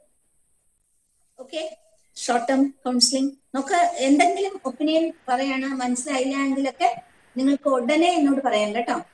മാഡം ഈ ഷോർട്ട് ടേം കൗൺസിലിംഗ് തന്നെയാണോ ബ്രീഫ് തെറാപ്പി എന്ന് പറയുന്നത്? ബ്രീഫ് തെറാപ്പി എന്ന് പറയുന്നത് ബ്രീഫ് തെറാപ്പി ഷോർട്ട് ടേം ട്രെയി എന്ന് പറയുന്നത് ഈ ക്ലയൻസിന് സമയമില്ലാതെ വരുമ്പോൾ നമ്മൾ ചെയ്യുന്നതാണ് ഷോർട്ട് ടേം ട്രെയിനിങ് പക്ഷെ ബ്രീഫ് എന്ന് പറയുന്നത് അവർക്ക് സമയം കുറവൊന്നുമില്ല പക്ഷെ നമ്മൾ തന്നെ ഡിസൈഡ് ചെയ്തിട്ട് ഒരു ബ്രീഫ് ആയിട്ട് ഈ തെറാപ്പി ഇങ്ങനെ നീട്ടിക്കൊണ്ടു പോകേണ്ട ആവശ്യമില്ല. അത് നമ്മൾ ചെയ്തു കൊടുക്കുന്നതാണ്. അതൊരു പത്ത് സെഷൻ വരെ പോകാം. ഓൾമോസ്റ്റ് സെയിം പ്രിൻസിപ്പിൾസ് ഒക്കെയാണ് നമ്മൾ ഉപയോഗിക്കുന്നത്. സ്റ്റാർട്ട് ചെയ്യുന്നതും എൻഡ് ചെയ്യുന്നതും ഇതിന്റെ ഇടയിൽ ഒരുപാട് ടൈം പോവില്ല. പക്ഷെ വളരെ ബ്രീഫായിട്ട് ബ്രീഫായിട്ട് നമ്മൾ എന്ന് ഈ ഒരു ദിവസം കൊണ്ടോ ഒരാഴ്ച കൊണ്ടോ ചെയ്തു കൊടുക്കുന്നതാണ് ഈ ഷോർട്ട് ടേം ബ്രീഫ് എന്ന് പറയുന്നത് അതല്ല. It is a longer period longer period എടുക്കാം. പക്ഷെ പത്ത് സെഷനിൽ കൂടുതൽ നമുക്ക് പോകും. ക്ലിയർ ആയോ? സെയിം ആണ്. ആ okay okay interpersonal counselling interpersonal counselling ഞാനൊന്ന് പറഞ്ഞുതരാം. ഇന്റർപേഴ്സണൽ എന്ന് പറയുന്നത് സി പല ആളുകളുടെയും ഒരുപാട് പ്രശ്നങ്ങളുടെ അടിസ്ഥാനപരമായ റീസൺ എന്ന് പറയുന്നത് നേരെ ഇന്റർപേഴ്സണൽ സ്കിൽസ് ഇല്ല. ഇന്റർപേഴ്സണൽ റിലേഷൻഷിപ്പ് മെയിന്റെയിൻ ചെയ്യാനുള്ള കഴിവുകളില്ല.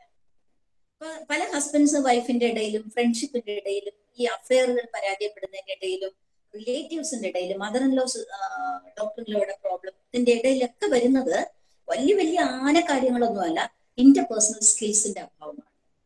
അത് അവരെ ബോധ്യപ്പെടുത്തുന്നതിനെയാണ് ഇന്റർപേഴ്സണൽ കൗൺസിലിംഗ് എന്ന് പറയുന്നത് I P C interpersonal counselling ഞാൻ ഒരുപാട് യൂസ് ചെയ്യുന്നതാണ്. കാരണം ആളുകളുടെ ബേസിക് ക്വാളിറ്റീസ് നന്നാകും അവരുടെ ഒരു ജെനുവിനിറ്റി നന്നാകും അവർ ബേസിക്കലി നല്ലവരാകും. എന്നിട്ട് അതുവഴി അവരുടെ ഇന്റർപേഴ്സണൽ റിലേഷൻഷിപ്പ് നന്നാകും. അതുകൊണ്ട് അത് നല്ല ഒരു അപ്രോച്ചാണ് അതിനകത്ത് വരുന്ന കുറെ കാര്യങ്ങൾ എന്ന് പറഞ്ഞാൽ ഒന്ന് മൈൻഡിങ് റിലേഷൻഷിപ്പ് റിലേഷൻഷിപ്പിന് പ്രാധാന്യം കൊടുക്കാൻ പറയണം. മൈൻഡ് ചെയ്യണം. ചിലരെന്തെന്നറിയാം ഇപ്പോ അവളാര്? ഒരു മരുമോൾ നമ്മുടെ വീട്ടിൽ വരുന്നു. മരുമോളാണ് ആ വീട്ടിനെ മുന്നോട്ടേക്ക് കൊണ്ടുപോകേണ്ടത് എന്നൊരു വിചാരം. നമ്മുടെ ഈ അമ്മായി അമ്മയ്ക്ക് വേണം. പക്ഷെ അല്ല ചില അമ്മായിയമ്മമാരോട് പറയും പിന്നെ അവളെ അനുസരിച്ച് ഞാനിപ്പോ ജീവിക്കാം. This is she is not able to mind the relationship ഒരു മൈൻഡ് ചെയ്യണം എന്ന് പറഞ്ഞാൽ മരുമോൾ എന്ന് പറഞ്ഞാൽ അവൾ ഇന്നലെ കയറി വന്നവൾ. ഇവരും കുറെ നാൾ മുമ്പേ കയറി വന്നോളല്ലേ ഇത് ഈ ആറ്റിറ്റ്യൂഡ് മാറുന്നതിനാണ് മൈൻഡിങ് റിലേഷൻഷിപ്പ് പിന്നെ ഫ്രണ്ട്ഷിപ്പിന് നമ്മൾ കൊടുക്കേണ്ട പ്രാധാന്യം. ഹസ്ബൻഡ് വൈഫ് റിലേഷൻഷിപ്പ് വളരെ പ്രധാനമാണെന്നുള്ള തിരിച്ചറിയൽ എനിക്ക് എന്റെ ഭാര്യ മാത്രമേ കാണൂ എന്നൊരു പുരുഷൻ തിരിച്ചറിയുന്നത് മൈൻഡിങ് റിലേഷൻഷിപ്പാണ് എന്തൊക്കെ പറഞ്ഞാലും എന്റെ സ്വന്തം വീടിനേക്കാളും ഇനി എനിക്ക് ആശ്രയിക്കാനുള്ളത് ഞാൻ വന്നു കയറിയ വീടാണ് എന്നൊരു സ്ത്രീ തിരിച്ചറിയുന്നത് അത് minding റിലേഷൻഷിപ്പാണ് okay then second one love സ്നേഹം ഉണ്ടെങ്കിൽ ഈ ലോകത്തെ എല്ലാ പ്രശ്നങ്ങളും പരിഹരിക്കാൻ കഴിയുമെന്നുള്ള തിരിച്ചറിവുണ്ടാകും ഇത് നമ്മൾ പഠിപ്പിക്കാനുള്ളതാണ് കേട്ടോ. ഈ നമ്മുടെ മുമ്പിൽ വരുന്ന ക്ലയൻസിന് ഇത് മനസ്സിൽ വെച്ചുകൊണ്ട് വേണം നമ്മൾ തെറാപ്പി കൊടുക്കാൻ. എന്ന് പറഞ്ഞാൽ നമ്മൾ ഈ സ്നേഹം കാണിക്കുകയും നമ്മൾ ആ റിലേഷൻഷിപ്പ് മെയിന്റെയിൻ ചെയ്യുമ്പോൾ നമ്മുടെ നെർവസ് സിസ്റ്റത്തിൽ തന്നെ ചില ന്യൂറൽ കണക്ഷൻസ് ഡെവലപ്പ് ചെയ്യും. ലവ് കൊണ്ട് കീഴ്പ്പെടുത്തുന്നത് അങ്ങനെയാണ്. സ്നേഹത്തോടുകൂടിയുള്ള അപ്രോച്ചിൽ ആ ന്യൂറൽ സബ്മിഷൻ വരും. ഇപ്പൊ നമ്മൾ ഒരാളോട് അലറിക്കൊണ്ടിരുന്നാൽ അയാളുടെ ന്യൂറൽ ട്രാൻസ്മിഷൻ ഇങ്ങനെ ട്രിഗേർഡ് ആവും. ആ സമയത്ത് അയാളോട് നമ്മൾ സ്നേഹത്തോടെ പറയണത് ഇങ്ങനെ ചെയ്തൂടെ? എന്ന് ചോദിച്ചാൽ അയാൾ ചൂടായാൽ പോലും അയാൾ അത്ര ഭയങ്കര ന്യൂറൽ കണക്ഷൻ ഇങ്ങനെ കൈവിട്ടു പോകില്ല ന്യൂറൽ ഇമ്പൾസിവിറ്റി വരില്ല. അതുകൊണ്ടാണ് നമ്മൾ സ്നേഹത്തിന് ഭയങ്കര സ്നേഹത്തിനും സമാധാനത്തിനൊക്കെ ഭയങ്കര വാല്യൂ കൊടുക്കണമെന്ന് പറയുന്നത്. ഓക്കെ ഇനി ഇന്റർപേഴ്സണൽ ഇതിന്റെ ലക്ഷ്യങ്ങൾ എന്ന് പറയുന്നത് ഒരുപാട് ആളുകൾക്ക് ഇന്റർപേഴ്സണൽ സ്കിൽസ് ഇല്ലാത്തതുകൊണ്ട് വരുന്ന പ്രശ്നങ്ങളിൽ നിന്ന് അവരെ മോചിപ്പിക്കുക അവർക്ക് വരുന്ന വികാരപരമായിട്ടുള്ള പ്രശ്നങ്ങൾ സ്ട്രെസ് സ്ട്രെസ് റിലേറ്റഡ് ആയിട്ടുള്ള ഡിസീസ് അതെല്ലാം നിന്നെല്ലാം അവർക്ക് സൈക്കോസൊമാറ്റിക് ഇൽനെസ് അതിനെയൊക്കെ ഡീൽ ചെയ്യാനായിട്ട് നമുക്ക് അവരെ പഠിപ്പിക്കാൻ ഈ ഇന്റർപേഴ്സണൽ കൗൺസിലിംഗ് കൊണ്ട് നമുക്ക് സാധിക്കും. ഇതുകൊണ്ടുള്ള മെച്ചം എന്താണ്? ഒന്ന് ഉള്ളിൽ കെട്ടിക്കിടക്കുന്ന ഗ്രീഫ് പുറത്തേക്ക് ഒഴുക്കിക്കളയാൻ ഇന്റർപേഴ്സണൽ സ്കിൽസ് അവരെ സഹായിക്കും. എങ്ങനെ സംസാരിക്കണം? എങ്ങനെ സ്നേഹം കാണിക്കണം? എങ്ങനെ തുറന്നു പറയണം?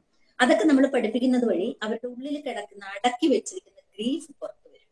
രണ്ടാമത്തത് റോൾ ഡിസ്പ്യൂട്ട് ഭർത്താവ് ആരാണ്? ഭാര്യ ആരാണ്? അമ്മയമ്മ ആരാണ്? അപ്പൊ റോളിന്റെ ഡിസ്പ്യൂട്ടുകൾ കിടക്കുകയാണ് ഞാനാണോ വലുത്? നീയാണോ വലുത്? ഓരോരുത്തർക്കും ഓരോ റോളുണ്ട് എന്ന് മനസ്സിലാക്കി പോയാൽ ഈ റോളിൽ ഡിസ്പ്യൂട്ട് വരും. അത് മനസ്സിലാക്കി കൊടുക്കുക. നിങ്ങളുടെ ജോലിയാണ് ഞാൻ ഈ പറയുന്നത്. ഗ്രീഫ് റെഡ്യൂസ് ചെയ്യാൻ സഹായിക്കുക ഈ റോൾ ഡിസ്പ്യൂട്ടിലുള്ള വ്യത്യാസം നമ്മൾ ബോധ്യപ്പെടുത്തി മനസ്സിലാക്കി കൊടുക്കുക. റോൾ ട്രാൻസിഷൻ റോൾ ഒന്ന് ട്രാൻസിറ്റ് ചെയ്യണം. എന്ന് പറഞ്ഞാൽ നിങ്ങൾ ഒരു ഉദ്യോഗസ്ഥയാണെങ്കിൽ വീട്ടിൽ വന്നാൽ ഉദ്യോഗസ്ഥയുടെ ഗമയും ബോഡി ലാംഗ്വേജും ഒന്നും കാണിക്കാൻ പാടില്ല. അപ്പൊ നിങ്ങൾ വീട്ടിൽ തിരിച്ചു വരുമ്പോഴത്തേക്ക് നിങ്ങൾ ആരാണോ അതുപോലെ കാണിക്കണം. ഇപ്പൊ ഒരു വലിയ പണക്കാരുടെ വീട്ടിൽ നിന്ന് വന്ന ഒരു മരുമകൾ ഈ പാവപ്പെട്ട സാധു പിടിച്ച ഒരു ഒരു ഗ്രാമീണയായ അമ്മായിയമ്മയോടൊക്കെ ചിലപ്പോ പെരുമാറുന്നത് കണ്ടാൽ ഈ സ്ത്രീ കൾച്ചർ ഇല്ലാതെ കിടക്കുന്നതാണ്. ഞാൻ വലിയ വീട്ടിൽ നിന്ന് വന്നതാണ്. അത് നിങ്ങളുടെ റോളല്ല നിങ്ങൾ ഇവിടെ കല്യാണം കഴിച്ച് വന്നോ? നിങ്ങൾ റോൾ ട്രാൻസ്മിറ്റ് ചെയ്തിരിക്കണം. ട്രാൻസിഷൻ ഓഫ് യുവർ റോൾ വളരെ വലിയൊരു കഴിവാണ്. അത് അവരെ പഠിപ്പിക്കണം ഈ ക്ലയൻസിന് അതൊക്കെ പ്രശ്നങ്ങളാണ്. എനിക്ക് എന്റെ അടുത്ത് വന്ന ഒരു അമ്മായി അമ്മയുടെ ഏറ്റവും വലിയ പ്രോബ്ലം എന്ന് പറയുന്നത് അവരുടെ മുമ്പിൽ വെച്ച് ഈ മരുമോൾ ഹസ്ബൻഡിനോടും വീട്ടിൽ വരുന്ന ആളുകളോടും ഇംഗ്ലീഷ് സംസാരിക്കും. അമ്മായി അമ്മയ്ക്ക് ഇംഗ്ലീഷ് അറിഞ്ഞില്ല അവൾ എന്തിനങ്ങനെ സംസാരിക്കുന്നതെന്നാണ് ചോദിക്കുന്നത്. അതാണ് ഞാനും ചോദിക്കുന്നത്. എന്തിന്? വലിയ ആളാവുന്നതാണോ? ഇവർക്ക് ഇംഗ്ലീഷ് അറിഞ്ഞൂടാ എന്നവരെ ബോധ്യപ്പെടുത്തുന്നതാണോ? അതോ ഇംഗ്ലീഷ് പറയുന്നത് കൊണ്ട് നിങ്ങൾക്ക് എന്താണ് കിട്ടുന്നത്? അപ്പൊ ഇങ്ങനെയുള്ള നിരവധി കാര്യങ്ങൾ വരും. അതുകൊണ്ട് റോൾ ട്രാൻസിറ്റ് ചെയ്യാൻ പഠിക്കണം. നിങ്ങൾ അവിടെ വെറും മരുമോൾ മാത്രമാണ്. അവിടെ ഇംഗ്ലീഷ് പറയേണ്ട കാര്യം okay so role transition interpersonal deficits എന്ന് പറഞ്ഞാൽ ഇന്റർപേഴ്സണൽ ആയിട്ട് നന്നായിട്ട് പെരുമാറാൻ കഴിവില്ലാത്ത ഒരുപാട് ആളുകളുണ്ട്. അതാണ് ഡെഫിസിറ്റ്സ് എന്തുകൊണ്ടാണ് അവർക്ക് കഴിവില്ലാതെ വരുന്നതെന്ന് കണ്ടെത്തി അതിനെ റെക്ടിഫൈ ചെയ്ത് കൊടുക്കാനായിട്ട് നമ്മൾ ശ്രമിക്കുന്നതിനെയാണ് ഇന്റർപേഴ്സണൽ ഡെഫിസിറ്റ്സ് എന്ന് പറയുന്നത്. അപ്പൊ ഇത്തരം കാര്യങ്ങളാണ് നമ്മൾ കൗൺസിലിംഗ് ഇന്റർപേഴ്സണൽ കൗൺസിലിംഗ് ഫോക്കസ് ചെയ്ത് സംസാരിക്കേണ്ടത്. ക്ലിയർ ആണോ? അടുത്തതിലേക്ക് പോകണം ഒരു ഡൗട്ട് ഉണ്ട് മാഡം ആ പേഴ്സണൽ ഡെഫിസിറ്റ് പറഞ്ഞത് ഇപ്പൊ പേഴ്സണാലിറ്റി ഒരു ആട്രിബ്യൂ ക്യാരക്ടറിസ്റ്റിക് ആണ്. ഇൻട്രോവേർട്ടഡ് ആയിട്ടുള്ള ഒരാളാണെങ്കിൽ എന്ത് ചെയ്യും? അയാളുടെ പേഴ്സണാലിറ്റി ക്യാരക്ടറിസ്റ്റിക്സ് തന്നെ അങ്ങനെയാണ്. Okay okay. അയാളുടെ ഇൻഡോ ഇതാണെങ്കിൽ നമ്മുടെ അടുത്ത് വരുന്നത് ഇന്റർപേഴ്സണൽ റിലേഷൻഷിപ്പിലുള്ള തകരാറ് കൊണ്ടാണെങ്കിൽ അയാൾക്ക് വേണമെങ്കിൽ ഒരു ഇൻസൈറ്റ് ഉണ്ടാക്കി കൊടുക്കാം. ഓക്കെ. രണ്ടാമത് അയാളുടെ ഇൻട്രോവേർഷൻ കാരണം സഫർ ചെയ്യുന്ന മറ്റേ പാർട്ടിക്ക് ഈ ഇൻട്രോവേർഷനെ കുറിച്ച് എക്സ്പ്ലെയിൻ ചെയ്ത് കൊടുത്ത ഒരു അണ്ടർസ്റ്റാൻഡിംഗിൽ എത്താം അവർക്കത് മനസ്സിലാവും. ഇതാണ് ചെയ്യേണ്ടത്. ഡെഫിസിറ്റ് മാറ്റാൻ സഹായിക്കാം. ഒരു ഇൻട്രോവേർട്ട് ഇപ്പൊ ഞാൻ ഒരു ഇൻട്രോവേർട്ട് ആണെങ്കിലും എന്റെ ഒരു പ്രൊഫഷൻ ഡിമാൻഡ് ചെയ്യുകയാണെങ്കിൽ I have to be an extrovert at least act ചെയ്തെങ്കിലും ഞാൻ എക്സ്ട്രോവേർട്ട് ആയിട്ട് അത് കഴിഞ്ഞിട്ട് എന്റെ സെൽഫ് ആകുമ്പോൾ ഞാൻ ഇൻട്രോവേർഷനിലേക്ക് മടങ്ങി വരാം. പക്ഷെ ഞാൻ ഇൻട്രോവേർട്ടാണ് അതുകൊണ്ട് ഞാൻ ആരോടും മിണ്ടത്തില്ല എന്ന് പറഞ്ഞാൽ ചില ജോലിക്ക് പറ്റത്തില്ല. അതെ അതെ. മനസ്സിലായോ? അപ്പൊ ആ ജോലിക്ക് നിങ്ങൾ ജോയിൻ ചെയ്ത സ്ഥിതിക്ക് അത് നിങ്ങളുടെ ഒരു ഡെഫിസിറ്റ് ആണെങ്കിൽ ആ ജോലിയെ സംബന്ധിച്ച് ഇപ്പൊ മാർക്കറ്റിംഗ് മാനേജർ അവിടെയാണ് അപ്പൊ റോൾ ഡിസ്പ്യൂട്ട് വരുന്നത് അല്ലേ? റോൾ ഡിസ്പ്യൂട്ട് എല്ലായിടത്തും വരും. റോൾ ഡിസ്പ്യൂട്ട് അവിടെ മാത്രമല്ല വരുന്നത്. ഒരു അമ്മായി അമ്മയ്ക്ക് അമ്മായി അമ്മ എങ്ങനെ പെരുമാറണമെന്നും മരുമോൾ മരുമോളാകാനും അറിയാതെ വരുമ്പോഴും റോൾ ഡിസ്പ്യൂട്ട് വരും. മനസ്സിലായോ? അവരുടെ അത് വിട്ടുകൊടുക്കാതിരിക്കുന്ന സമയത്ത് റോൾ ഡിസ്പ്യൂട്ടാണ് ഇവിടെ റോൾ ഡിസ്പ്യൂട്ട് ആണ്. What you asked is also right role dispute വരും. ഇത് അവിടെ ഡിസ്പ്യൂട്ട് അല്ല. റോൾ എടുക്കാനുള്ള കഴിവില്ലായ്മയാണ്. അതെ അതെ. അതായത് ഞാനൊരു മാർക്കറ്റിംഗ് മാനേജറാണ് എന്തിനാ ജോലിക്ക് പോയി? ഐ മീൻ ഇൻട്രോവേർട്ട് എന്നിട്ട് ഞാൻ അവിടെ ചെന്ന് ഇങ്ങനെ മുഖവും വേർപ്പിച്ച് ചിലടത്ത് കണ്ടിട്ടില്ലേ? ചിലതുങ്ങൾ രണ്ടാമതോടെ രണ്ടാമത് അവിടെ പോകാൻ തോന്നില്ല അത് ഇരിക്കുന്നത് എവിടെയാണെന്ന് അറിയാമോ? ഇരിക്കുന്നത് ഈ കൗണ്ടറിൽ റിസപ്ഷനിൽ റിസപ്ഷനിലൊക്കെ ചില മൂരാജികൾ ഇരുന്ന് കഴിഞ്ഞാൽ എന്ത് സംഭവിക്കും? നമ്മുടെ റിസപ്ഷനിൽ ഇരിക്കുന്നവരെ മൂരാച്ചി എന്ന് പറയുന്നത് ഇൻട്രോവേർട്ടിനെയാണ്. ഇൻട്രോവേർട്ട് അവരുടെ വീട്ടിൽ പോയി നല്ല കാര്യങ്ങൾ ചെയ്തുകൊണ്ടിരുന്നാൽ അവർ മൂരാച്ചി അല്ല. ഒരു വാച്ച് അസംബിൾ ചെയ്യാൻ ഏറ്റവും പറ്റിയ ആളാണ് ഇൻട്രോവേർട്ട്. അപ്പൊ ഏറ്റവും നല്ല ജോലിക്കാരൻ ഇൻട്രോവേർട്ട് ആവുമല്ലോ?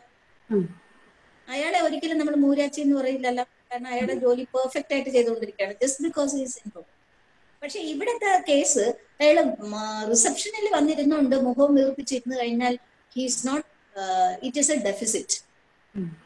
അപ്പൊ അയാളെ അത് ബോധ്യപ്പെടുത്തി കൊടുക്കുക. Either you leave the job or change your functioning level. Clear okay okay അടുത്തത് അതൊക്കെ വേണമെങ്കിൽ നിങ്ങൾക്ക് സ്ട്രക്ചർ ഒരു മോഡലുണ്ട് നമ്മൾ ഇന്റർപേഴ്സണൽ റിലേഷൻഷിപ്പിന് അക്വൈന്റൻസ് എന്ന് പറയും ബിൽഡപ്പ് എന്ന് പറയും കണ്ടിന്യൂഷൻ ഡിറ്റേറിയേഷൻ ടെർമിനേഷൻ അതായത് ഒരു റിലേഷൻഷിപ്പ് ബിൽഡ് ചെയ്യുന്നതിന്റെ ഒരു മോഡൽ പറഞ്ഞിരിക്കുന്നതാണ്. ഒന്ന് അക്വൈന്റൻസ് എന്ന് വെച്ചാൽ ഒരാളെ പരിചയപ്പെടുന്ന ഉപയോഗിക്കുന്ന സ്കില്ലുകൾ കുറെ കാര്യങ്ങളുണ്ട്. ഫസ്റ്റ് ഇംപ്രഷൻ നമ്മുടെ വർത്തമാന രീതി നമ്മുടെ ചിരി നമ്മുടെ സ്മോൾ ടോക്സ് ഇതെല്ലാം കൊണ്ടാണ് ഒരു അക്വൈന്റൻസിലേക്ക് നമ്മൾ കയറേണ്ടത് അതിനുള്ള കഴിവുകൾ പഠിപ്പിച്ചു കൊടുക്കുക. രണ്ടാമത്തത് എങ്ങനെയാണ് അത് ബിൽഡപ്പ് ചെയ്തുകൊണ്ട് ഒരിക്കൽ നമ്മളൊരു റിലേഷൻഷിപ്പ് ഉണ്ട്. ഒരു പരിചയപ്പെട്ടു. പരിചയപ്പെട്ടാൽ പിന്നെ അത് ബിൽഡപ്പ് ചെയ്യാനായിട്ട് ചില ക്വാളിറ്റീസ് ഉണ്ട്. അത് നമ്മൾ പഠിപ്പിച്ചു കൊടുക്കണം. ഈ ബുക്ക് ഒന്ന് വായിച്ചു നോക്കണം. കണ്ടിന്യൂഷൻ ഒരു ബിൽഡപ്പ് ചെയ്ത് കഴിഞ്ഞാൽ ബന്ധം നിലനിർത്താൻ അറിയണം. ഇടയ്ക്കൊന്ന് ഫോൺ ചെയ്യുക ഇടയ്ക്ക് സുഖവിവരങ്ങൾ അന്വേഷിക്കുക. ആ, ചില ആളുകൾ ഉണ്ട്. കുറേ ദുഃഖങ്ങളൊക്കെ പറഞ്ഞാണോ അല്ലേ എന്നൊക്കെ അത് ബിൽഡിംഗ് അപ്പാണ് അയ്യോ നിങ്ങൾക്ക് അത്ര പ്രശ്നം ഉണ്ടല്ലേ എന്നൊക്കെ ചോദിച്ചിട്ട് പോകും. പക്ഷെ പിന്നെ തിരിഞ്ഞു.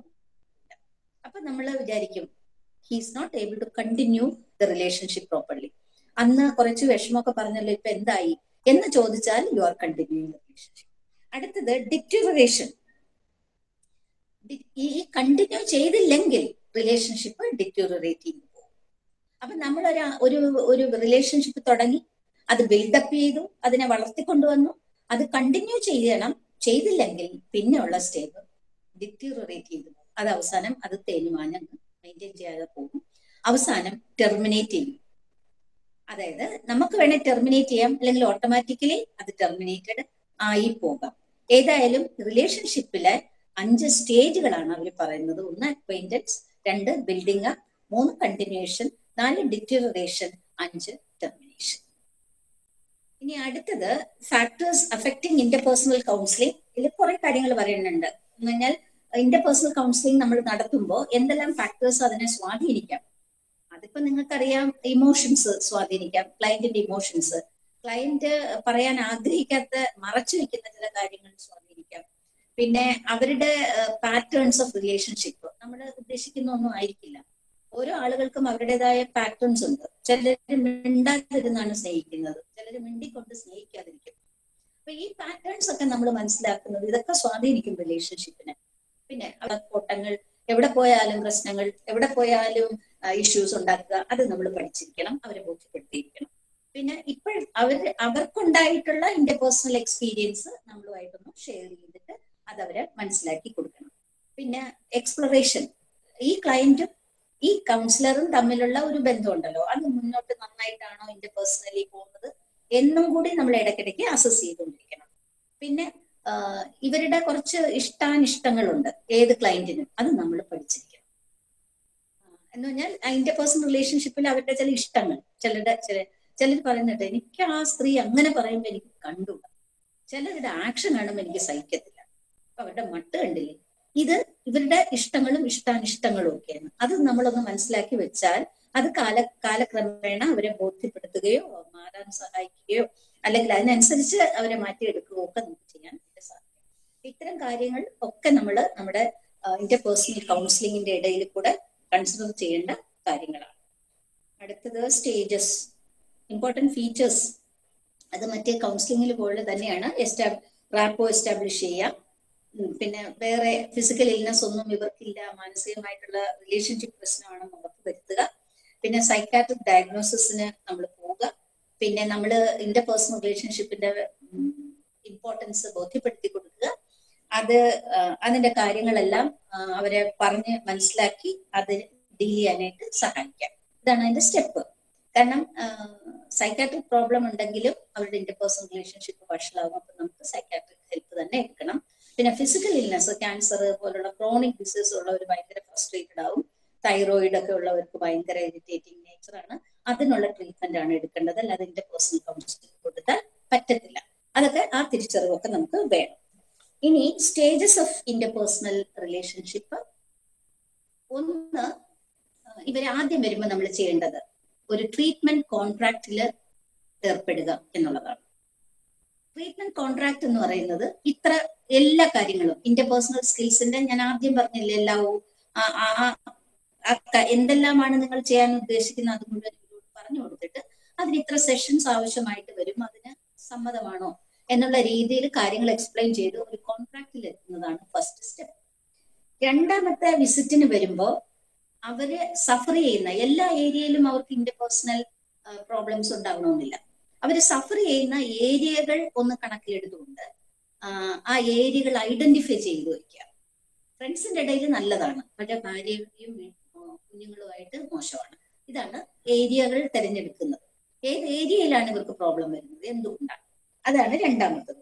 മൂന്നാമത്തത് ആ സ്ട്രെസ് ഇവർക്ക് വരുന്ന പ്രോബ്ലം ഇവർക്ക് വരുന്ന ആ ഏരിയയിൽ എന്ത് ചെയ്യാൻ പറ്റും എന്നുള്ള പ്രോബ്ലം ഐഡന്റിഫിക്കേഷൻ നടത്തി കഴിഞ്ഞാൽ സൊല്യൂഷൻ ഐഡന്റിഫിക്കേഷൻ നടത്തുക.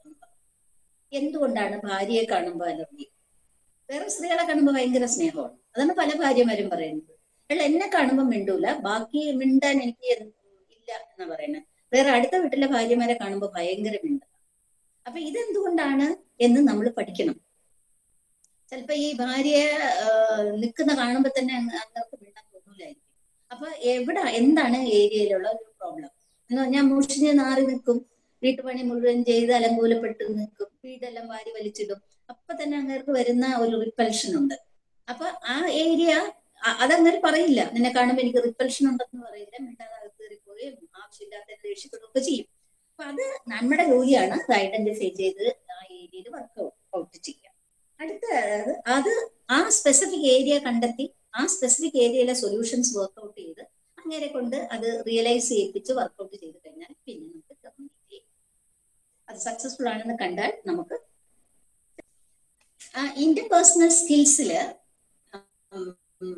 നമ്മൾ വിജയിച്ചു കഴിഞ്ഞാൽ ഒരുപാട് ഫാമിലി രക്ഷപ്പെടും. ഒരുപാട് കൗൺസിലിംഗ് ഇതിന്റെ ഒക്കെ നമുക്ക് രക്ഷപ്പെടുത്തി എടുക്കാൻ എക്സാക്ട് ഇത് എന്റെ ഒരു എക്സ്പീരിയൻസ് ആണ്. അടുത്തത് നമ്മൾ ഡീൽ ചെയ്യാൻ ഓടിച്ച് ആണ് ഇതിനകത്ത് എല്ലാം പറയുന്നത്. ഒരു ഇൻട്രൊഡക്ഷൻ ബുക്ക് ആയതുകൊണ്ടായിരിക്കണം. പലതരത്തിലുള്ള കൗൺസിലിംഗ് ടെക്നിക്സ് ഉണ്ട്. അതിനകത്ത് ഒന്നാമത്തെ ടെക്നിക്ക് നമ്മൾ പറഞ്ഞു സൈക്കോ അനാലിറ്റിക്കൽ ടെക്നിക് രണ്ടാമത്തത് നമ്മൾ പറഞ്ഞു ബിഹേവിയർ തെറാപ്പി കുട്ടികളുടെ ആളുകളുടെ എൻവയോൺമെന്റ് വരുത്തുന്ന അല്ലെങ്കിൽ ലേണിംഗ് കൊണ്ടുണ്ടാകുന്ന പ്രശ്നങ്ങളെ ലേണിംഗ് വഴി തന്നെ തിരുത്തുന്നതിനെയാണ് ബിഹേവിയർ തെറാപ്പി എന്ന് പറയുന്നത്.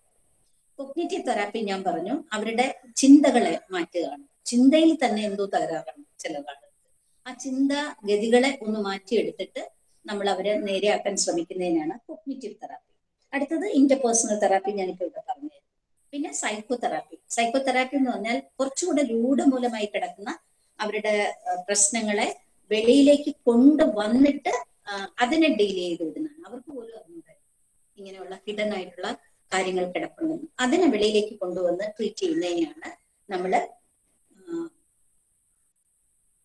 എന്താ പറഞ്ഞേ? സൈക്കോതെറാപ്പി എന്ന് പലതരത്തിലെ സൈക്കോതെറാപ്പി ഉണ്ട്. അപ്പൊ ഇത്രയും കാര്യങ്ങളാണ് നമ്മൾ ഈ ബുക്കിനകത്ത് ഇപ്പൊ കൊടുത്തിരിക്കുന്നത്. പിന്നെ ഉള്ളത് ഇന്റർപേഴ്സണൽ തെറാപ്പി ആരിലൊക്കെ ഉപയോഗിക്കാം. പിന്നെ അഡോളസെന്റ് പോപ്പുലേഷൻ അവർക്കൊക്കെ കൂടുതൽ പ്രോബ്ലംസ് ഉള്ളവര് പിന്നെ എച്ച് ഐ വി മീൻസ് മരണത്തിനോട് അടുക്കുന്ന ആളുകളിലൊക്കെ ഒരുപാട് മീൻസ് അവർക്ക് വ്യക്തിപരമായ ബന്ധങ്ങൾ നിലനിർത്തിക്കൊണ്ട് പോകുന്നതിൽ ഭയങ്കര അസാധ്യം ഉള്ള ഇതിലൊക്കെ നമുക്ക് യൂസ് ചെയ്യാം. ഇനി നമുക്ക് ഇതിനകത്ത് കൊടുത്തിരിക്കുന്നത് ഇന്റർപേഴ്സണൽ റിലേഷൻഷിപ്പ് പഠിപ്പിക്കുമ്പോൾ നമ്മൾ കുറെ കാര്യങ്ങൾ ഇവരെ പഠിപ്പിച്ചിരിക്കണം. പ്രധാനമായിട്ട് നാല് കാര്യങ്ങളാണ് ഇവിടെ പറയുന്നത്. ഒന്ന് എങ്ങനെ വർത്തമാനം പറയണം? കമ്മ്യൂണിക്കേഷൻ സ്കിൽ ദേഷ്യപ്പെടേണ്ട അടുത്തടുത്ത് ദേഷ്യപ്പെടുക പിന്നെ കിടന്ന് അലറി വിളിക്കുക മീൻസ് അങ്ങനെ കുറെ ബാറ്ററി ലോ ആണെന്നാണ് ഈ പറഞ്ഞുകൊണ്ട് വരുന്നത്. Anyway let us see this book and uh, break for uh, little time so that I will get my battery also charged and come back after the break. അപ്പൊ ഇതിനകത്ത് പറയുന്ന നാല് കാര്യങ്ങൾ. ഒന്ന് കമ്മ്യൂണിക്കേഷൻ സ്കിൽ ആളുകളെ എങ്ങനെ കമ്മ്യൂണിക്കേറ്റ് ചെയ്യണം എന്ന് നമ്മൾ പറയും. രണ്ട് അസർട്ടീവ് സ്കിൽ എന്ന് പറഞ്ഞാൽ പറയേണ്ട കാര്യം പറയേണ്ട ആളിനോട് പറയേണ്ട സമയത്ത് പറയേണ്ടതുപോലെ പറയാം സോൾവ് ചെയ്യുന്നതെന്ന് പഠിപ്പിച്ചു കൊടുക്കണം. അല്ലാതെ കോൺഫ്ലിക്റ്റ് വന്നു കഴിഞ്ഞാൽ ആരുടെയെങ്കിലും ഇന്റർപേഴ്സണൽ റിലേഷൻഷിപ്പ് കാണിക്കുകയല്ല. ഓഫീസിൽ ഒരു പ്രോബ്ലം വന്ന ഭാര്യയുടെ തന്നെ തട്ടിക്കയറുന്നത്. അവിടുത്തെ കോൺഫ്ലിക്റ്റ് അവിടെ പരിഹരിക്കാനുള്ള സ്കിൽ ഇല്ലാത്തത് കൊണ്ടാണ് വീട്ടിലൊരു പ്രശ്നം വന്നാൽ ഭർത്താവ് വന്നാൽ ഉടനെ തട്ടിക്കയറുന്നില്ല ഒരു കാര്യം ചെയ്യേണ്ടത്. അവർക്കുണ്ടാകുന്ന വീട്ടിലെ പ്രശ്നങ്ങൾ ആ കോൺഫ്ലിക്റ്റ് അവർ പരിഹരിച്ചിരിക്കണം. അതിനാണ് കോൺഫ്ലിക്ട് റെസൊല്യൂഷൻ സ്കില്ല് നമ്മൾ വർദ്ധിച്ചു കൊടുക്കണം ആങ്കർ മാനേജ്മെന്റ് വളരെ ഇമ്പോർട്ടന്റ് ആണ്. ചില ആളുകൾക്ക് അൺകൺട്രോളബിൾ ആയിട്ടുള്ള ദേഷ്യമാണ്. അൺകൺട്രോളബിൾ ദേഷ്യം മാനേജ് ചെയ്യാനും കൂടി നമ്മൾ പഠിപ്പിച്ചു കൊടുക്കണം. ഇതെല്ലാം പുറകെ നിങ്ങൾക്ക് വരും. ഇത് എല്ലാം ജസ്റ്റ് മെൻഷൻ ചെയ്തിട്ട് ഉള്ള കാര്യങ്ങൾ മാത്രമാണ്. സോ ഈ നാല് കാര്യങ്ങളാണ് ഇന്റർപേഴ്സണൽ സ്കിൽസിൽ നമ്മൾ ഫോക്കസ് ചെയ്യേണ്ട കാര്യം. ഇനി നമ്മുടെ ലാസ്റ്റ് യൂണിറ്റിൽ വരുന്നത് കൗൺസിലിംഗ് ചിൽഡ്രൻ ആണ്. കുട്ടികളെ കൗൺസിൽ ചെയ്യുമ്പോൾ കുറച്ച് ആരെയാണ് കൗൺസിൽ ചെയ്യേണ്ടത് എന്നുള്ളത് വളരെ പ്രധാനമാണ്. വളരെ ഡീവിയന്റ് ആയിട്ടുള്ള കുട്ടികൾ ഇമ്പൾസീവ് ക്യാരക്ടർ ആയിട്ടുള്ള കുട്ടികൾ ക്രിമിനൽ ടെൻഡൻസി കാണിക്കുന്ന കുട്ടികൾ മെന്റലി ചലഞ്ച്ഡ് ആയിട്ടുള്ള കുട്ടികൾ അങ്ങനെ ഒരുപാട് തരത്തിലുള്ള പ്രോബ്ലം ബിഹേവിയർ കാണിക്കുന്ന കുട്ടികൾ. ഇവരെല്ലാം ചിൽഡ്രന്റെ കീഴിൽ വരുന്നതാണ്. ഇവരുടെ നമ്മൾ ഫോക്കസ് ചെയ്യേണ്ട ഏരിയാസ് ആണ് പറഞ്ഞിരിക്കുന്നത് ഫിസിക്കൽ ഡെവലപ്മെന്റ് ശരിയായിട്ടുള്ള ഫിസിക്കൽ ഡെവലപ്മെന്റ് ഇല്ലെങ്കിൽ പ്രശ്നങ്ങൾ ഉണ്ടാവും. രണ്ടാമത്തത് കൊഗ്നേറ്റീവ് ഡെവലപ്മെന്റ് ശരിയായിട്ടുള്ള തിങ്കിങ് പ്രോസസ് അല്ലെങ്കിൽ ഇന്റലിജൻസിന്റെ ഡെവലപ്മെന്റ് ഇല്ല എങ്കിൽ അത് ഫോക്കസ് ചെയ്യണം. ഇവരുടെ സോഷ്യൽ ഡെവലപ്മെന്റ് എങ്ങനെയായിരുന്നു എന്ന് നമ്മൾ പഠിച്ചിരിക്കണം. അപ്പൊ മൂന്ന് കാര്യങ്ങൾ physical development cognitive development and their social development ഈ മൂന്നിലുമുള്ള ഡെഫിസിറ്റ്സ് കണ്ടുപിടിച്ചാണ് നമ്മൾ ചിൽഡ്രനെ കൗൺസിലിംഗിലേക്ക് പോകുന്നത് ഇനി ഇവരുടെ കുറച്ച് ലേൺ ഇവർ അനുഭവിക്കുന്ന കുറെ പ്രശ്നങ്ങൾ ഇവിടെ പറയുന്നുണ്ട്. ഡീറ്റെയിൽസ് ഇല്ല. ഒന്ന് ചിൽഡ്രൻ വിത്ത് ലേണിംഗ് ഡിസോർഡേഴ്സ് ബുദ്ധി ഉണ്ടെങ്കിലും ചില ഏരിയകളിൽ പഠിക്കാൻ സാധിക്കാത്തത് വായിക്കാൻ പറ്റാത്തത് കണക്ക് ചെയ്യാൻ പറ്റാത്തത് എന്നാൽ ബുദ്ധിയുണ്ട്. ചില പ്രത്യേക ഏരിയകളിൽ മാത്രം പ്രശ്നമുള്ളവരെയാണ് നമ്മൾ സ്പെസിഫിക് ലേണിംഗ് ഡിസോർഡേഴ്സ് എന്ന് പറയുന്നത്. അവർ. പിന്നെ ആ അങ്ങനെയുള്ള കുട്ടികളെ നമ്മൾ തീർച്ചയായിട്ടും കൗൺസിലിങ്ങിന് വിധേയമാക്കേണ്ടതാണ്. അതിന് ബിഹേവിയർ മോഡിഫിക്കേഷൻ നടത്തണം. ഒരു സൈക്കോ അനാലിറ്റിക് അപ്രോച്ച് ചെയ്ത് അവരനുഭവിക്കുന്ന ദുരിതങ്ങളെ ചാനലൈസ് ചെയ്യണം. അവർക്ക് ഇൻഡിവിജ്വൽ ആയിട്ട് അറ്റൻഷൻ സ്കൂളിലും വീട്ടിലും പ്രത്യേകമായിട്ട് കൊടുത്തിരിക്കണം. സെൽഫ് ഇൻസ്ട്രക്ഷനിലായിട്ടുള്ള അപ്രോച്ച് കൊടുക്കണം. എന്ന് പറഞ്ഞാൽ അവർ തന്നെ ഇരുത്തി പഠിപ്പിക്കുന്ന ഒരു രീതി വേണം. പല സോഴ്സിൽ കൂടെ അവരെ പഠിപ്പിക്കണം. മൾട്ടി ഓഡിയോ വീഡിയോ ഒക്കെ ഉപയോഗിച്ചുകൊണ്ട് പഠിപ്പിക്കുന്നത് വഴി അവരെ നമുക്ക് രക്ഷപ്പെടുത്തി എടുക്കാനായിട്ട് സാധിക്കും. അടുത്തത് എ ഡി എച്ച് ഡി ഇതെല്ലാം ഇങ്ങനെ മെൻഷൻ ചെയ്ത് പറഞ്ഞു. എ ഡി എച്ച് ഡി എന്താണ് എന്ന് ഞാൻ പറയാം. എ ഡി എച്ച് ഡി എന്ന് പറഞ്ഞാൽ അറ്റൻഷൻ ഡെഫിസിറ്റ് ഹൈപ്പർ ആക്ടിവിറ്റി ഒരിടത്ത് അടങ്ങിയിരിക്കാൻ പറ്റാത്ത കുട്ടികളെയാണ് അവർക്കും ഈ പറഞ്ഞതുപോലെ ഇൻഡിവിജ്വലൈസ്ഡ് ആയിട്ടുള്ള അറ്റൻഷൻ വേണം. ഒരുപാട് ആവർത്തിച്ച് കുട്ടികളെ പഠിപ്പിച്ചു കൊടുത്തിരിക്കണം. ഒരു കാര്യം തന്നെ റിപ്പീറ്റ് ചെയ്ത് റിപ്പീറ്റ് ചെയ്ത് പഠിപ്പിക്കണം. പിന്നെ അവരുടെ ഹൈപ്പർ ആക്ടിവിറ്റി കുറച്ചു കൊണ്ടുവരാനായിട്ട് ഈ അറ്റൻഷൻ ആവശ്യമുള്ള രസകരമായ വർക്കുകൾ മാല കോർക്കുക തൊട്ടിക്കുക പെയിന്റ് ചെയ്യിപ്പിക്കുക അങ്ങനെയുള്ള കാര്യങ്ങളൊക്കെ ഇൻട്രസ്റ്റ് ആയിട്ട് ചെയ്യിപ്പിച്ച് ചെയ്യിപ്പിച്ച് അവരുടെ അറ്റൻഷൻ വർദ്ധിപ്പിച്ചുകൊണ്ട് വരികയും വേണം. പാഠ്യ പാഠ്യപദ്ധതികളിൽ എക്സ്ട്രാ കെയർ എടുത്ത് കൊടുക്കുക പിന്നെ ഒരുപാട് കുട്ടികളുണ്ട്. ഇവർക്ക് ആൻസൈറ്റി ഡിസോർഡേഴ്സ് ഉണ്ട്. ആൻസൈറ്റി ഡിസോർഡേഴ്സ് ഉള്ളവരെന്ന് പറയുന്നത് എന്തുകൊണ്ടാണെന്ന് നമ്മൾ കണ്ടുപിടിക്കണം? ആൻസൈറ്റി ഡിസോർഡേഴ്സ് എന്തുകൊണ്ടാണ്? അവഗണന കൊണ്ടാണോ? അബ്യൂസ് നടക്കുന്നത് കൊണ്ടാണോ? ഭയങ്കര ഫിസിക്കൽ പണിഷ്മെന്റ് ആണോ? സെക്ഷലി അവർ അബ്യൂസ് ആവുന്നുണ്ടോ? വീട്ടിൽ ക്രൂരമായ പണിഷ്മെന്റ് ഉണ്ടോ?